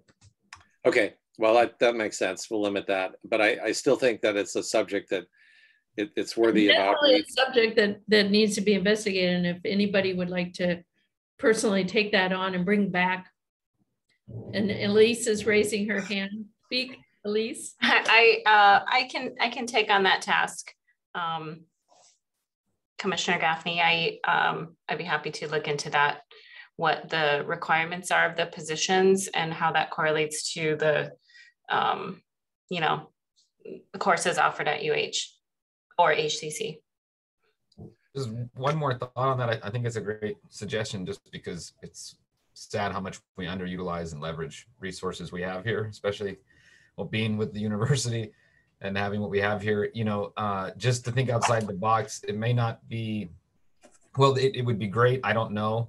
So I can't speak to it. It would be great if there are trainings available that could fix that issue. Another thought is just that uh, you know, we have several projects where we just have MOAs with the county in order to support investigations into resource management. So that might be another way to leverage university resources is whether it's through faculty or students or both working together to do some of what we're talking about here with investigating certain matters and delivering back a report. Um, you know, that they're there and that could be great projects and that can all be facilitated through MOAs that don't necessarily I mean, if there's funds to support student time and PI time, that's great. If not, it might just align well and give them projects to focus on. Um, you know, like I work through the data science program, we have faculty in business, we have faculty in, in computer science, math. There's all these disciplines that could be participating in what you're talking about or what we talk about as issues um, just through MOUs. So yeah, that's just some food for thought. I think it's great. And it's also allowed for the two of you to talk offline and come back to us with an agenda item on path forward. So um, good ideas. And, and just for the record, uh, Elise, so you're aware, uh, Ramzi has taught um, some of these uh, wastewater management education courses in his previous life in California. So um, frankly, I'm not sure that we want to burden him with any more work than he already has. Um, but he he did mention that in in light of, of, of what we're talking about. So it's it's possible that a partnership between him and the community college system um, could result in at the very least, him bringing his syllabus um, and uh, suggesting somebody who can teach Hmm. uh, some of these courses. Great info. Okay, we need to move on. We've got these guys from DEM and we, we need to leverage them. Um, we, uh, as first, first item of new business, I don't know if you saw that there is a conflict with council meetings uh, twice next year. It was in our resource guide. I think it was um, in, I'm blanking. Which dates? Peter, you're, you're the one who February, March. um, for February, and March. I, we routinely have these meetings on Wednesday morning, fourth Wednesday. It bumps into when John teaches his class, so we know there's a conflict there. Um, but it seems like it makes sense not to uh, overlap with council because sometimes we do have council listening in and participating in our meetings. Um, thoughts, comments, restrictions people have? I have a, a further question to that subject. Um, the, the day of council meetings is obviously important and a conflict, but they also have um, committee meetings on other days. So I think it's probably, Or the day before their meet, that the council meet? I don't know. I mean, I, yeah. I just wanted to bring that up because it, it would be foolish for us to be meeting on a day when um, Tim Richards, for instance, is meeting with his uh, committee, and that would mean that he couldn't participate in, uh, at least observe what we're doing. That's I'm- correct. Tuesdays are normally committee days. hmm? What'd you say, Peter? Tuesdays are normally committee days, the day before the council meeting. Okay, I guess I, would it be okay for those two known conflicts to move a day to a Thursday morning? Yeah, I- I was just gonna say because I, I have to jump off to teach class. Like I can only miss so many on Wednesdays. Um, so yeah, the Thursdays I teach Monday, Wednesday, Friday. So Tuesdays, Thursdays are good for me. But you know, we've discussed this before. I know there's a lot. You can definitely be a domino effect once you change the date. So you know, I'm fine with just doing the best I can. But if those dates change to Tuesdays, Thursdays, that'll actually work better for me. So no problems there. Which, which opens the question whether people want to move all our, all our meetings to a standard day to Thursday mornings instead of Wednesday mornings.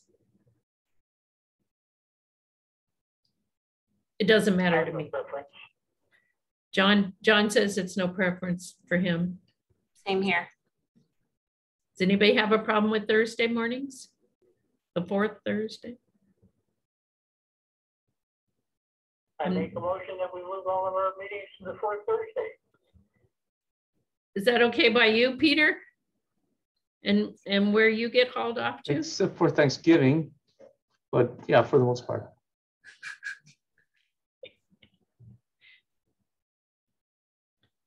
Okay, do we need a motion? Uh, Is that a motion and a second? I need a motion. Yeah, John made the motion to move us to Thursday, fourth Thursdays, except for Thanksgiving, You're talking about 2022. not this year. What is, what is Christmas? Mm. Uh, So it's Sunday. Okay, so we don't need to worry about Christmas next year. But we do need to worry about Thanksgiving. Yeah. And I guess, That can be on the Wednesday, it's no problem. You move it one day before. Mm. un- unless it conflicts with council. Or advance it a week. Mm. The 17th.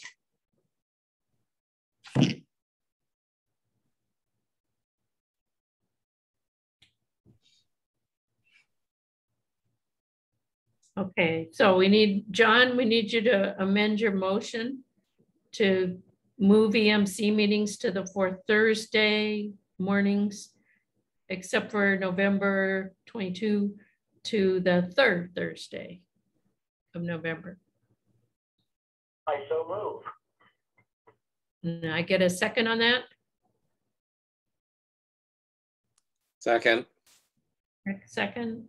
All in favor, say aye. aye. Aye. Any opposed? And I assume we can always make a change as long as we give adequate public notice if for some reason we run into trouble with that. Yep. Okay, Thursday. Um,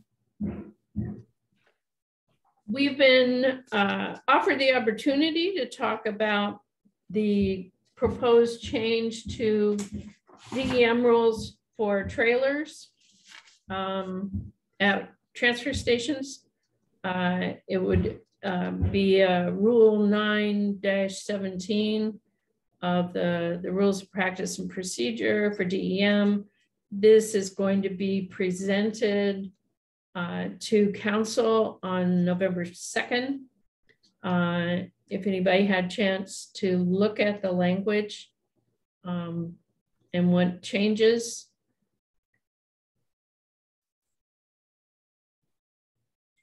If not, I looked at it and sent some advice changes. I have no idea what um, any responses from there. There's a requirement that in order to designate the transfer stations where trailers can go once a week uh, is uh, requires written concurrence from the mayor and corporate counsel. And I thought that was overkill, but if they want to do that, that's fine.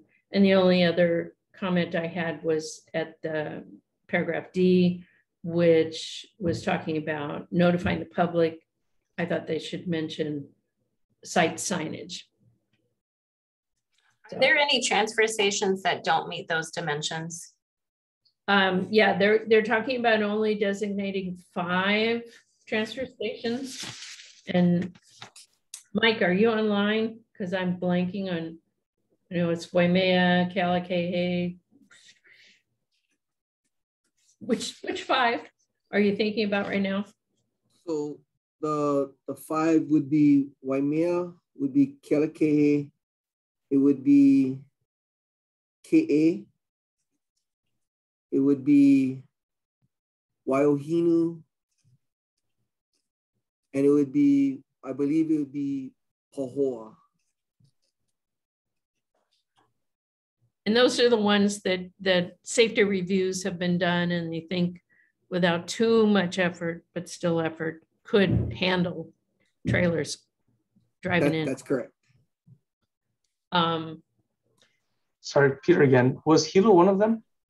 I Was mentioned in the discussion to council. I know that it was it was a discussion, but I I'm trying to recall the the safety um the safety team's um responses and and I think you know speaking with the director um there was going to be some additional um issues to make that happen. I don't know that we need at this time, since the language isn't final, uh, a particular motion, um, but maybe more a, a sense of the EMC that this approach is a reasonable one, that at least there'll be some designated transfer stations where people can take their trailer, but it'll be limited in location and, and days. Lee, you have a comment. Lee McIntosh. I actually I have several comments. Um, I use um, I use a trailer, so I noticed that um, well, first off, the biggest concern was that they didn't want us to back trailers into shooter. I'm not sure what the transfer stations will look like. They're currently rebuilding ours, but uh, not being able to back in is, is uh, I mean, that means you're gonna have to walk 30 feet to get to the chute from your trailer. Um, and whether you go forward or back in, you're gonna have to back up at some time, uh, unless you can just drive sideways to it and throw it off. I, I'm not sure how they're designed. Uh, that was one concern. Another was that uh, the dimensions of the trailer, uh, goes for six by nine. Uh, most trailers on the island are four by eight or five by 10. So, you know, you're cutting out five by 10 trailers. And, you know, I'm surprised you would pick six feet, six foot trailers because that's usually wider vehicles. And that would be more difficult to uh, maneuver. But I mean, if you're going to have six by nine, why not make it six by 12? Because uh, from what I understand, that's the largest, um, you know, residential trailer that's sold uh, on the island by Home Depot, but it's a special order, so you don't see too many of those. Um, let's see if I. Um, oh, and the other thing was I didn't understand why. Uh, I mean, the trailers are supposed to have, you know, the stickers on it. Um, not many are registered. Those that are, you know, they're just like the vehicles. You know, they have the stickers on them. So it should be unnecessary for the employees to need to ask to see documentation because it's plastered there on the trailer. Uh, and if it isn't, then they're not in compliance. And really, that's, I think that would be more of an issue for the police department. If they want to enforce that, have a police officer there and cite, giving citations rather than employees, because I know the director has mentioned in the past that he's concerned about employees trying to enforce the rules on themselves by themselves. And I think this would be just asking for lots of trouble uh, in that regard. Um, those were pretty much the main issues I saw when I was looking at the proposed amendments and some things might take before they're finally approved. Are there any other comments you'd like to pass on to Mike? Yeah. John? So I was on the Solid Waste Advisory Commission when, you know, they started the rebuild of the transfer stations. And uh, they even took us on a tour of how they were doing this on Oahu and on Maui. And there they built them so that you were pulling through. You weren't having to back up. And that is the whole problem with the trailer issue here. The new transfer stations that the county has built are not pulled through. So it, it's created, a, they've created a huge hassle. And eliminating trailers, people who don't have trucks are not going to load their green waste uh, into their automobile. And this is going to lead directly to a lot of illegal dumping if we don't address their needs. So uh, put us right out between a rock and a hard place.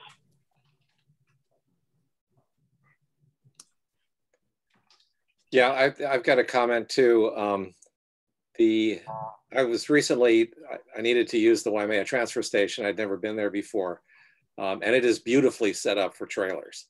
Um, and it's exactly what Lee just described. You pull up alongside the mm -hmm. dump, the the puka um, and offload off the side of the trailer. So there's no backing involved whatsoever. And if in the best case, best world situation, if we could have all future transfer stations designed that way, that would be a winner because then people who really don't have any experience backing trailers up uh, on a regular basis wouldn't be forced into that situation. Okay. I, my impression is the five that are selected or whatever are drive-through. That's, that's, not correct. Kealakehe, there is absolutely no way you There's could no drive through. You you have not only do you have to back up, you have to back up in a long line of other vehicles that are in three parallel rows. If you go on Saturday and Sunday to Kealakehe, because uh, I do regularly, with with my truck full of green waste. Um, trailers are problematic because if people don't know how to back a trailer properly, they're in line six or seven cars deep uh, in parallel lines that are not even as wide as a, as a single lane on a roadway. So I, am not saying we shouldn't allow it at Kealakehe, but um, there's definitely a potential for accidents. Mike, could you comment on on uh, the schedule? I my impression was you guys would designate a day a week.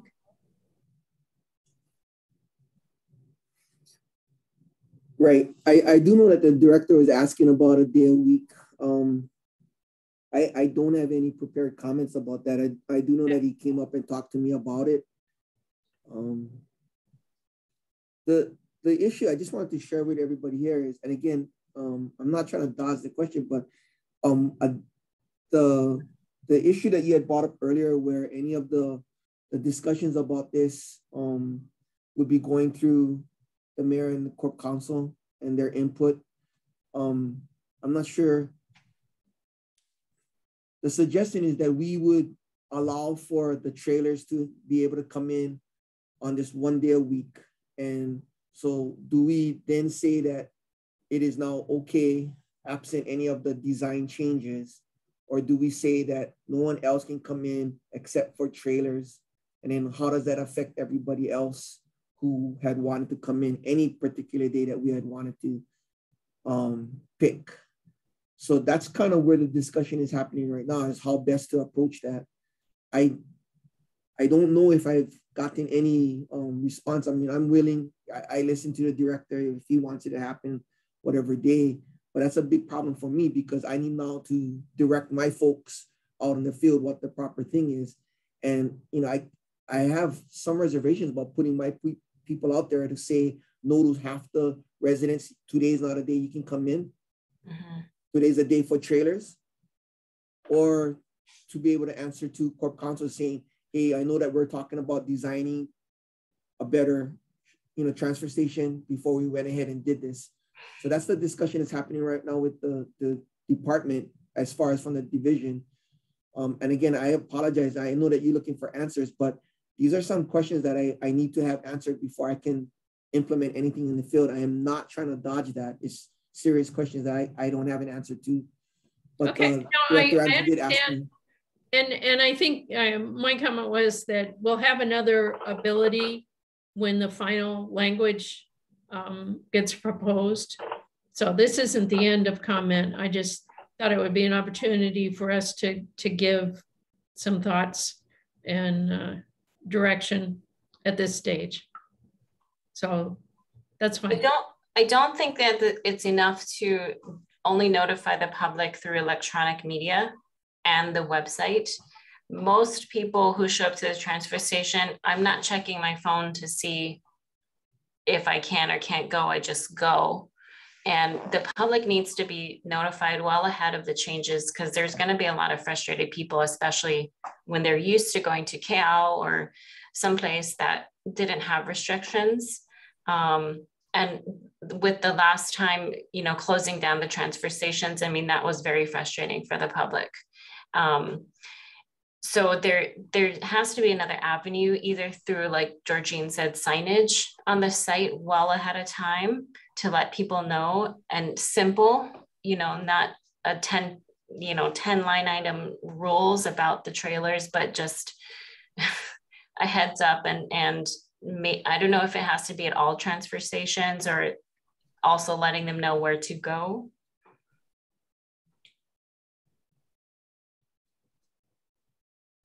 Um, John here, if I can chime in. Yeah, go ahead, John. I'll get you next, Dee.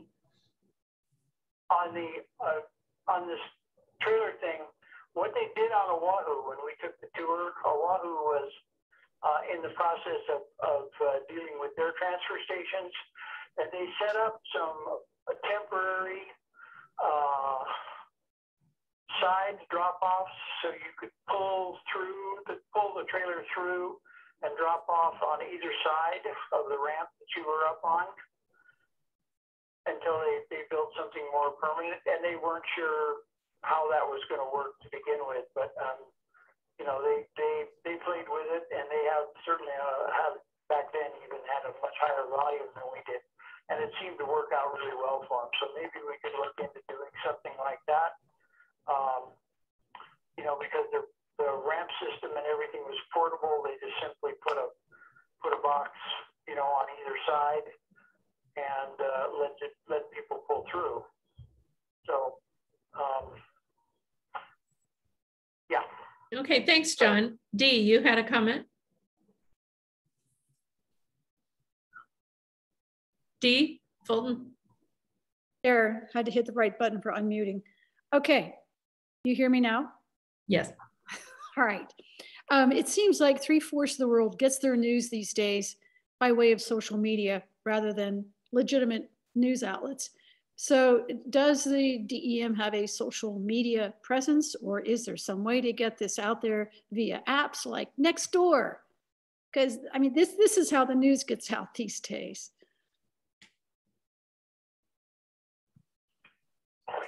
I mean, I, if I can answer that real quickly, the division does have a, um, they have an ability to um, put out messages, uh, like Elisa was saying earlier. Not everyone has um, signed up for it.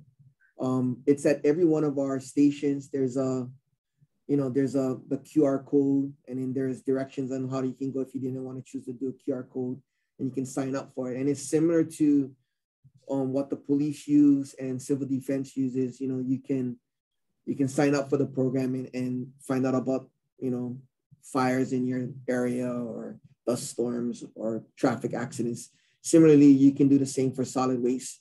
Something that happens in your area, um, it'll alert you. So if you sign up for the, the, the thing, I would caution everybody though that that because it's a um, it's a county-wide system, um, be careful about what you're signing up for because you might be just inundated with stuff that you're not, you know, it doesn't necessarily affect you. You know, if you're living in um, Hilo, he might not necessarily need to find out what's happening out in Kealakehe and vice versa.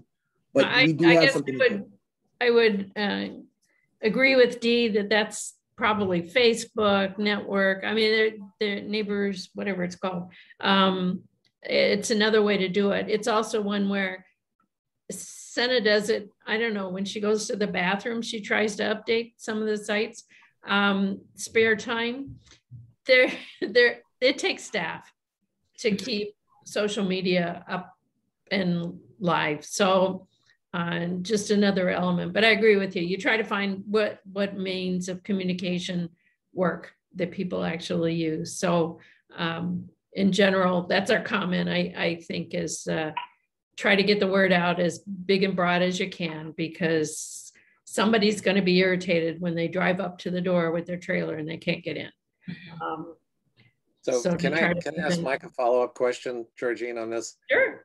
Um, I'm, I'm on the county system, so I was aware that the Saddle Road was closed today. Um, Is DEM currently using that system to notify people that a transfer station is closed for the day?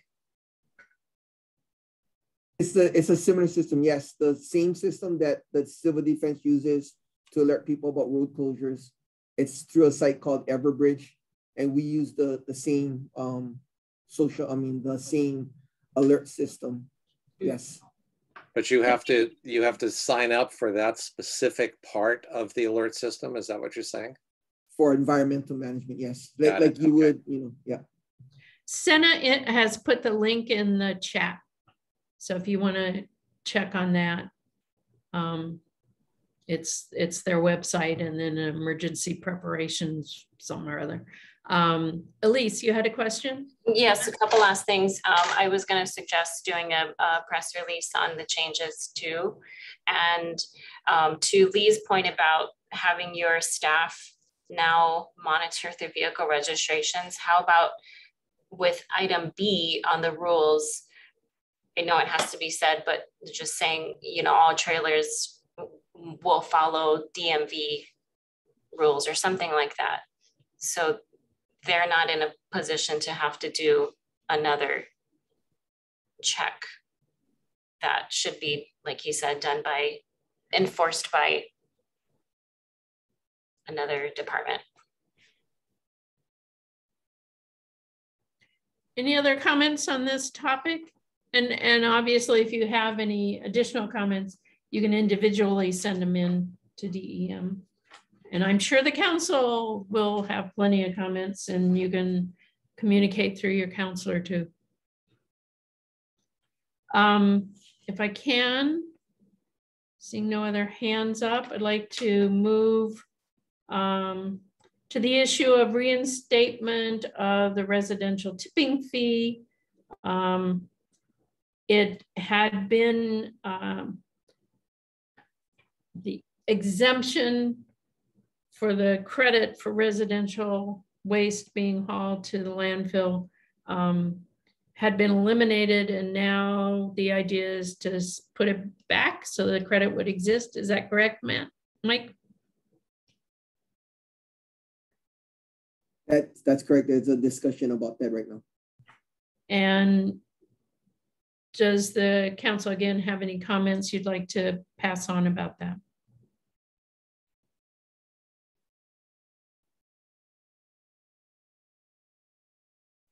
I would say it was an item, not a recommendation per se, but a, an item of something to consider in the uh, integrated solid waste management plan as a source of revenue. Mean, basically, we're giving it away for free again, and it's not free. It costs money to put something in landfill. Um, but we wanted to encourage people to at least put in a landfill and not in the backyard. Um, and offering the credit again was uh, perhaps a, a, political necessity at this time, um, but it's still another way that we're kicking ourselves by not collecting revenue around that service.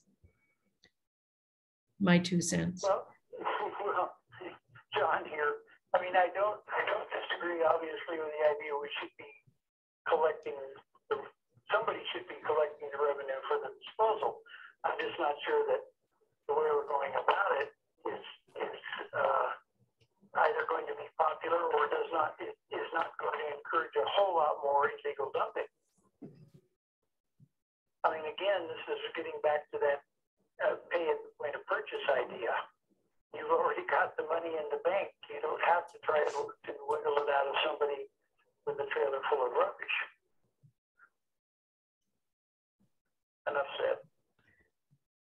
Any any other thoughts to pass on to DEM on this issue?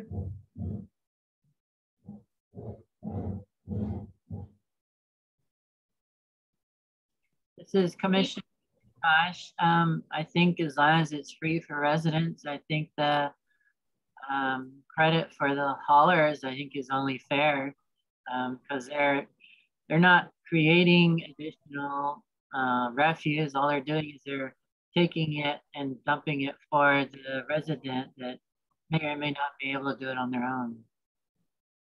So it's providing a service for especially your seniors that isn't available otherwise.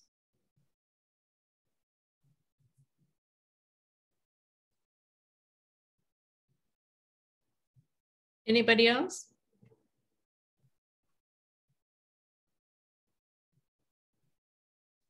Okay, I'm going to move on and, and the, the council will probably have plenty of opinions to offer on this. Um, I, th I think we're, we're all struggling with the fact that there needs to be revenue there needs to be recognition that these services are not free. Somebody's paying for it. And so how do we pay for it uh, equitably? Um, next up, did anybody have any other uh, rules that we may recommend for revision at this time?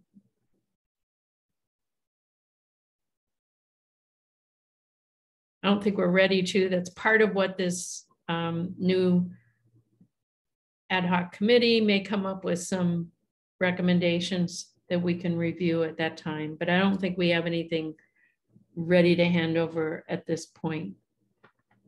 Um, so I hope you took the time to listen to the presentation that um, Ramzi and Eric, I'm going to mess his name up, um, gave to the uh, county council.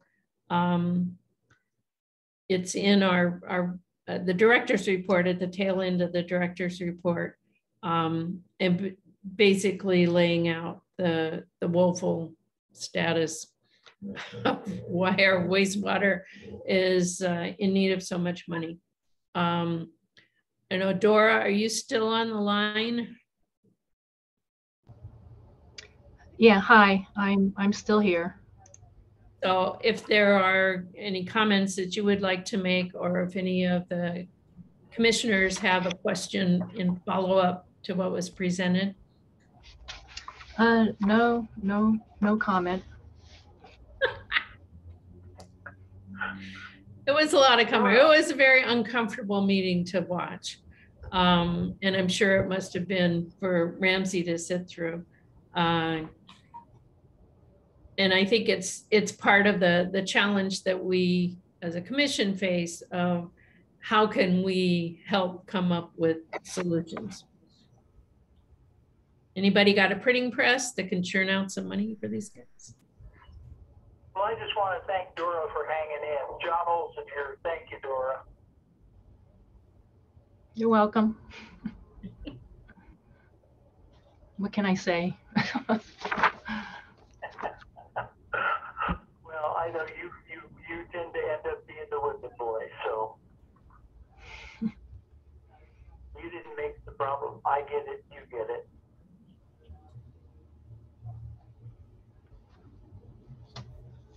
Okay, again, I would encourage, uh, definitely look through the presentation slides, but also uh, if you can um, manage it, uh, listening to where the council members were coming from, what the key issues are. Obviously, we know it's funding, personnel issues, and compliance with the array of um, EPA actions against us that are that are driving the need uh, for um, DEM resources.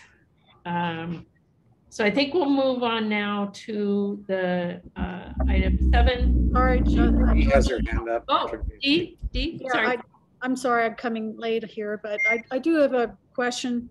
Um, and if- for those who didn't uh, watch the video, the slides are also contained in a link. And uh,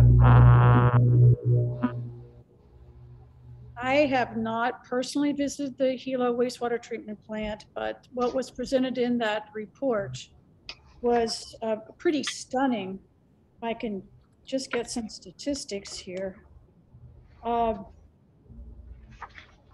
I'm looking at the slides, and what it says is 86% of all the assets at Hilo wastewater treatment plant are condition five failed or four rehab required. There's some really stunning photos attached. It's a, a- actually a very uh, effective and, and dramatic presentation that was made uh, about the state of decay of the Hilo wastewater treatment plant. Um, this this does raise a lot of questions about uh, how effectively that plant is functioning, um, and we're getting into regulatory areas here. Um, so the question is: Is is a Hilo wastewater treatment plant able to consistently meet secondary standards? And I direct that to um, Dora Beck, please. Yeah, it is currently meeting permit requirements, uh, the MPS permit requirements. Uh, but yeah, it's it's uh, there's a lot of um, deterioration, and right now lack of redundancy, and um, we've had projects on the CIP list for years and years to try and address these issues. Um, but you know, as each year goes by, there's lack of funds. It's either lack of funds or lack of staffing. We need both, basically. And um, we're, you know, for both areas, it's just been depressing. So, but in answer to your question, we are meeting permit limits, discharge limits. Any other follow-up, Dee? Uh, just, just my sympathy, uh, position that all the, the folks, the good people at DEM find themselves in from, from the top down to the bottom. I mean, I, I, I have friends that have people working over at the wastewater treatment plant in Hilo, And, you know, I hear how guys are getting sent all over the island. Um, and it's just, it's the, we've deferred, the, the county government has deferred maintenance on our wastewater treatment system for decades. And now it's catching up to us and we're coming to a point of, of crisis. But it's not the fault of the people who are working in wastewater. It's the lack of funding to, to that department. And at this point, we're going to need to do anything we can to get more funding going to DEM. Thank you, Dee. Lee McIntosh, you have a comment?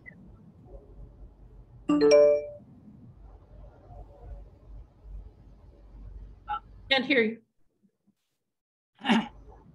When I was, when I was uh, listening to the part uh, about the LA the hollow wastewater plant funding, did I understand correctly?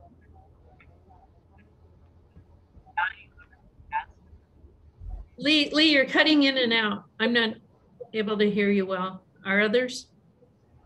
No, I can't hear.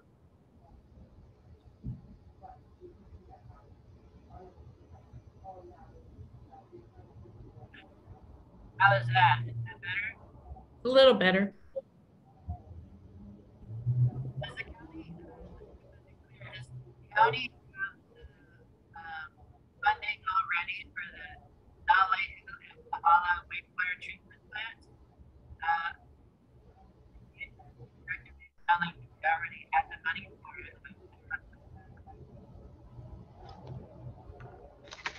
I think he's asking about whether or not you've got the funding for Naalehu and, and Pahala.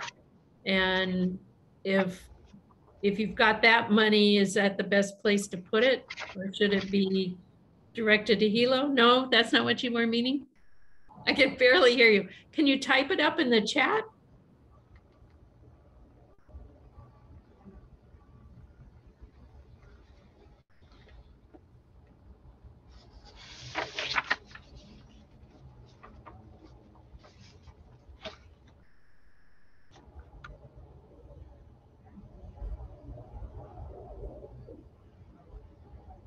While he's, he's typing or dealing with that, I had a question about, um, oh, what the, the WIFIA, um, monies that is, was approved to be used by generators at several treatment sites. I was just curious why generators was number one for that money? Or is it just a function of how that money can be used?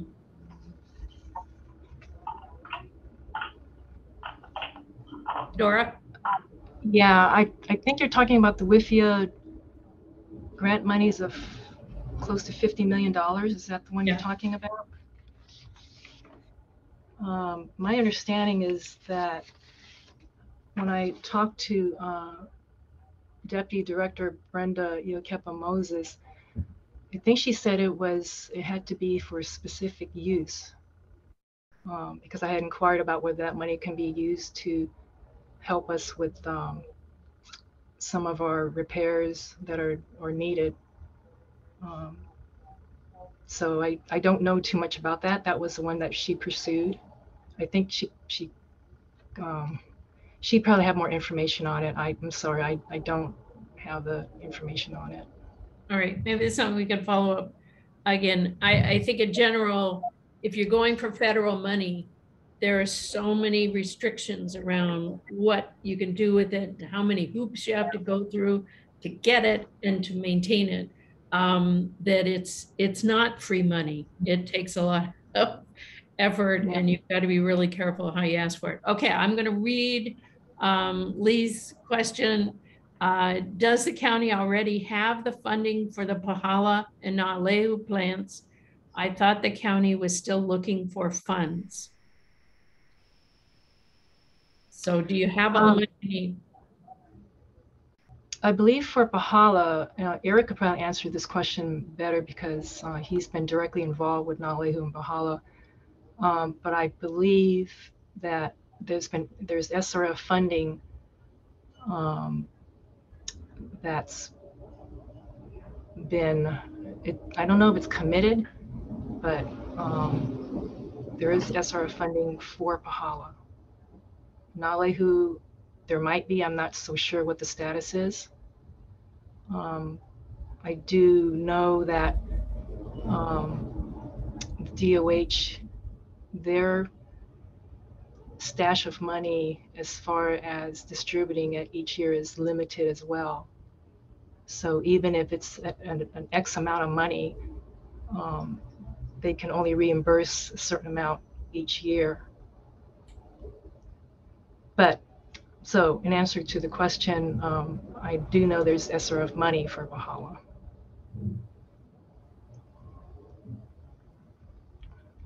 Does that help you, Lee? The details of it, um, probably better to ask, uh, I'll have to check with uh, Eric Takamura. Okay. Well, I guarantee you the questions will be there for Naalehu and Pahala at every one of our meetings until they're finally complete. Um, so we'll we'll try to catch it next time. Um, again, if you watch the presentation that was made um, by Ramzi to the the council and and uh, committee, um, that was my understanding is that Pahala's covered, Naalehu not so much. Um, and that uh, they're they're moving ahead on that. Um, are there any uh, questions? Oh, wait a minute. Go back to the the legislative update. Um, and do I see? I got to get back to that report. I didn't print it out. Um,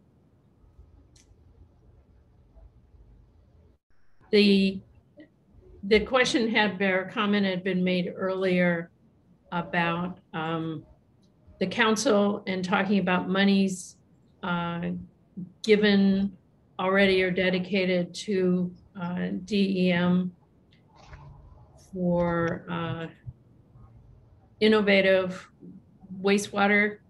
Uh, just wanted to, to clarify, at least as my understanding, uh, resolution 239-21. Uh, it was a resolution of a topic that Heather Kimball is now allowed to bring to the uh, Hawaii. Oh, you gave me the name of that thing, the HSAC, the council group um, from all the different counties.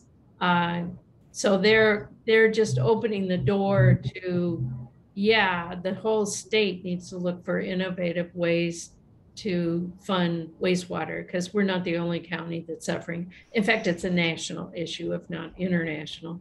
Um, so all this is doing is saying that the HSAC can include it in their um, discussion package that they're going to take to the state legislature. Um, and we, I think, as a uh, mission, are you know, almost obligated to come up with what are some of those innovative, innovative ways to fund. Um, and I think you could see also in uh, testimony uh, and other discussions that, that Rick has had, um, trying to look at the same kinds of things I had in, in that uh, solid waste thing, you know, private public partnerships, um, looking for ways to, to sell the reused water rather than treated as waste.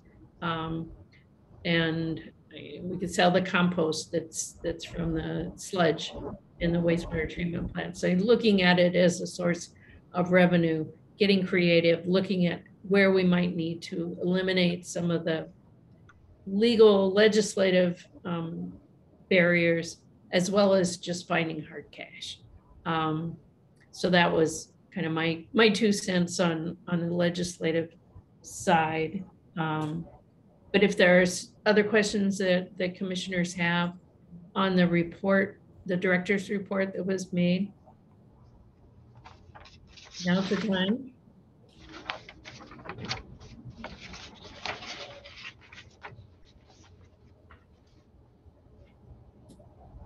Nothing, nothing?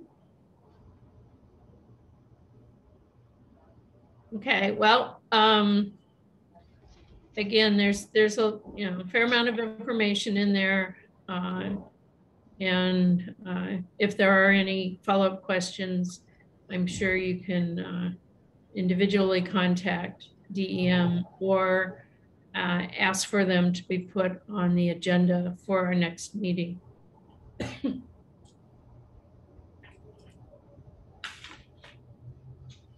So are we done with the director's report, item seven?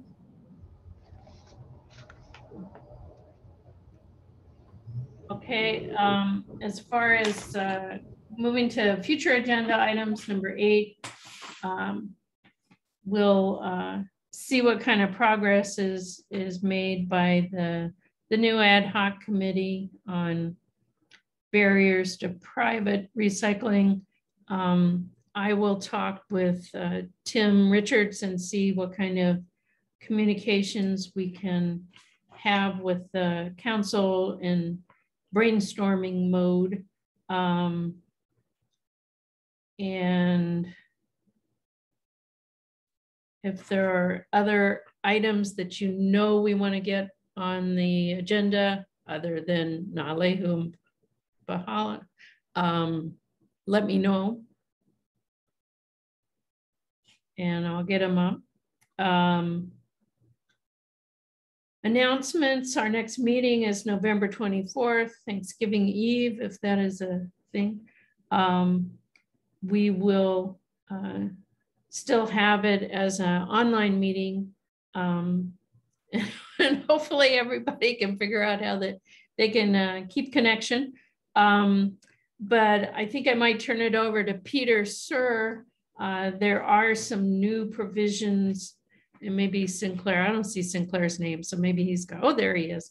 Um, there are new sunshine rules for next, starting next year in January. Um, and they include a uh, couple of interesting items that I'm still trying to figure out. Um, we would need, if we had, for example, a non-unanimous um, vote for a motion, I need to do a roll call. Um, and then we need to have a quorum on camera uh, at all times. And if we have less than quorum, then we stop until we get quorum back.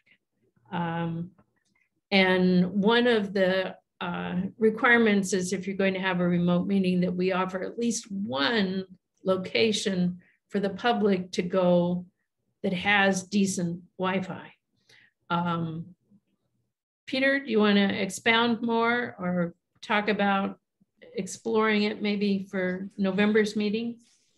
Yeah, uh, the Office of Information Practices has put out a updated guidebook about how to comply with these new rules that are going into effect on January 1st of next year. So it wouldn't apply for the November one, but as a trial run, I was suggesting in a message to Georgine that maybe we could say, try this uh, location accessible to the public. There's nothing, I don't think, preventing us from starting this up before January and hopefully working on all the, all the bugs.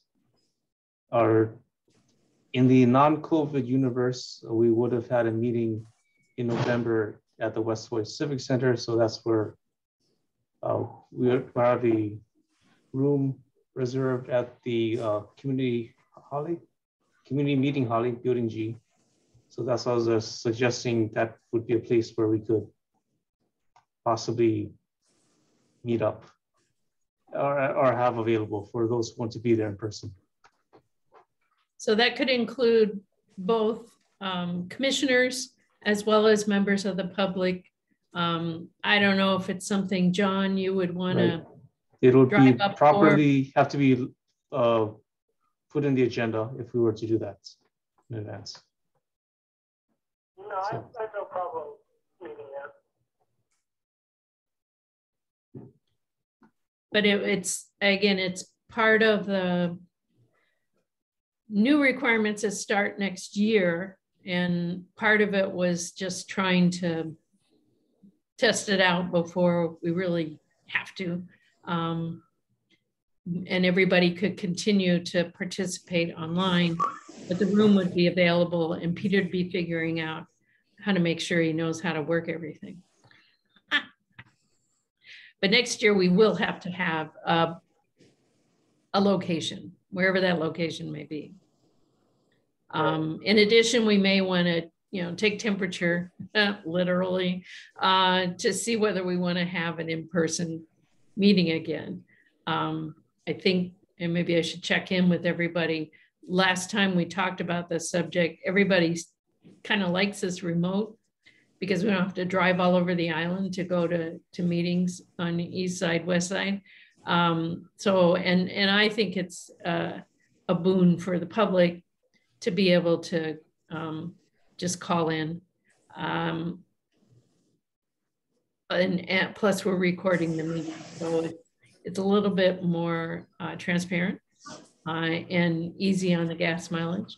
Um, and the Saddle Road is open again, apparently, according to a message that came by, but sometimes it's not, and it's a pain in the butt.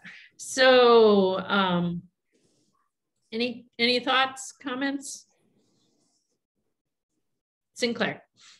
Have a few more. So there was a bunch of updates, like you mentioned, Georgine, that come in effect January, and um, as Peter said, we should start uh, enacting those and, and acting as if uh, they are in effect. And that's the OIP's advice as well, is to just start doing it. Um, one of the kind of bigger things that wasn't mentioned is that when we're doing remote hearings uh, in the future, um, we have to, the board members have to, when they come on, you have to clarify whether there's somebody in the room with you or not.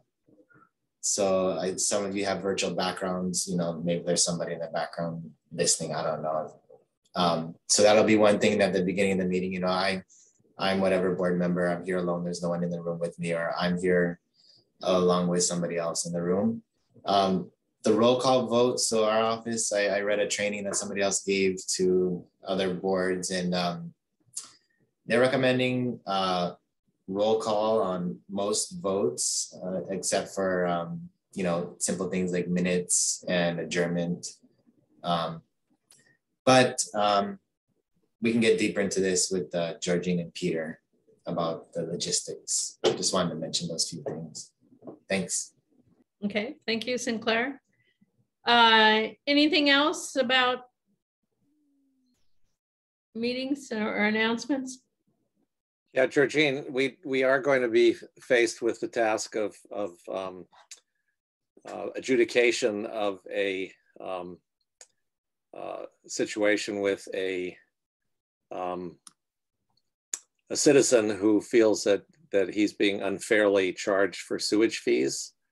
Um, I received notice of that, um, and I think it was sent to you as well. So that's we're going to have a meeting on that subject soon, so people need to be prepared to go into judicial mode.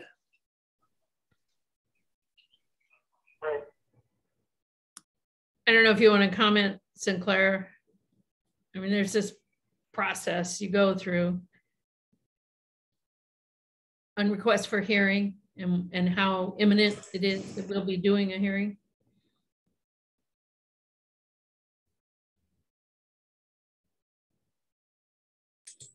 Sorry, I thought it was off. Was on.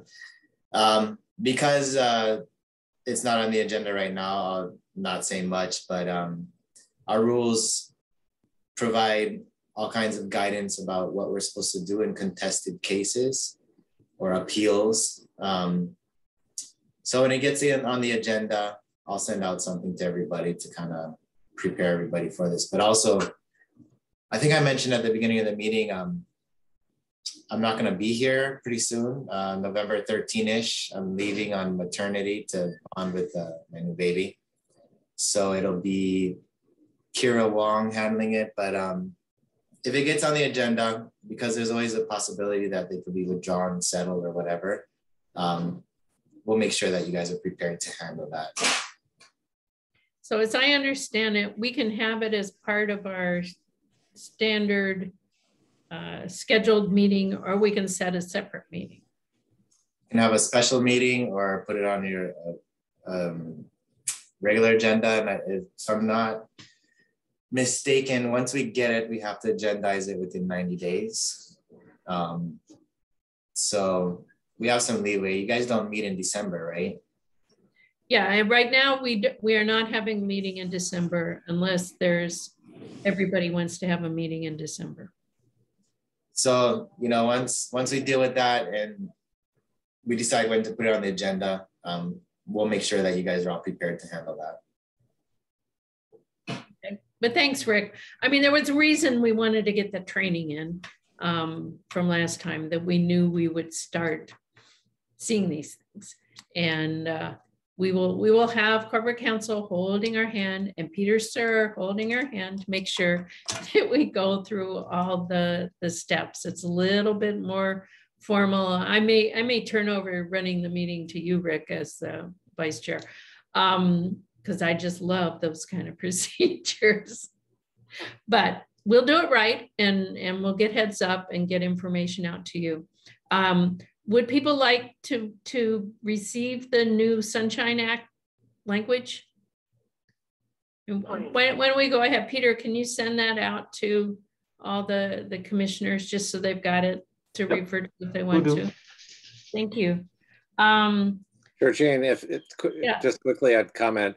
I, I think that if, if we're going to handle one of these appeals, having never done it before, um, and considering that every meeting is very full and we always run over, um, adding the appeal to a regular meeting essentially means we get nothing else done, or could mean that, depending on the co- complexity of the appeal um, and, and how prepared we are to handle it, um, having never done it before. So I would argue, at least for the first appeal that we're faced with, that we should uh, have a special meeting. I, I'm inclined to agree with you just as a, a learning experience. Um, I believe we can also do them remotely as long as we follow all the new rules. Correct, Sinclair? So um, you'll get plenty of notice. There needs to be public notice. Um, so it's it's not going to happen next week, um, but it is it is coming. So reread this the materials that we had presented to us before. Any other comments, questions before somebody motions to adjourn? So moved. Have a second? Second, Thank you. Uh, all in favor, say aye. Aye. Aye. Thank you very much, guys. See you next time. And Sinclair, the best. Hope it goes smooth as can be. And you'll have a ball. Staying up all night. it's wonderful you're going to help.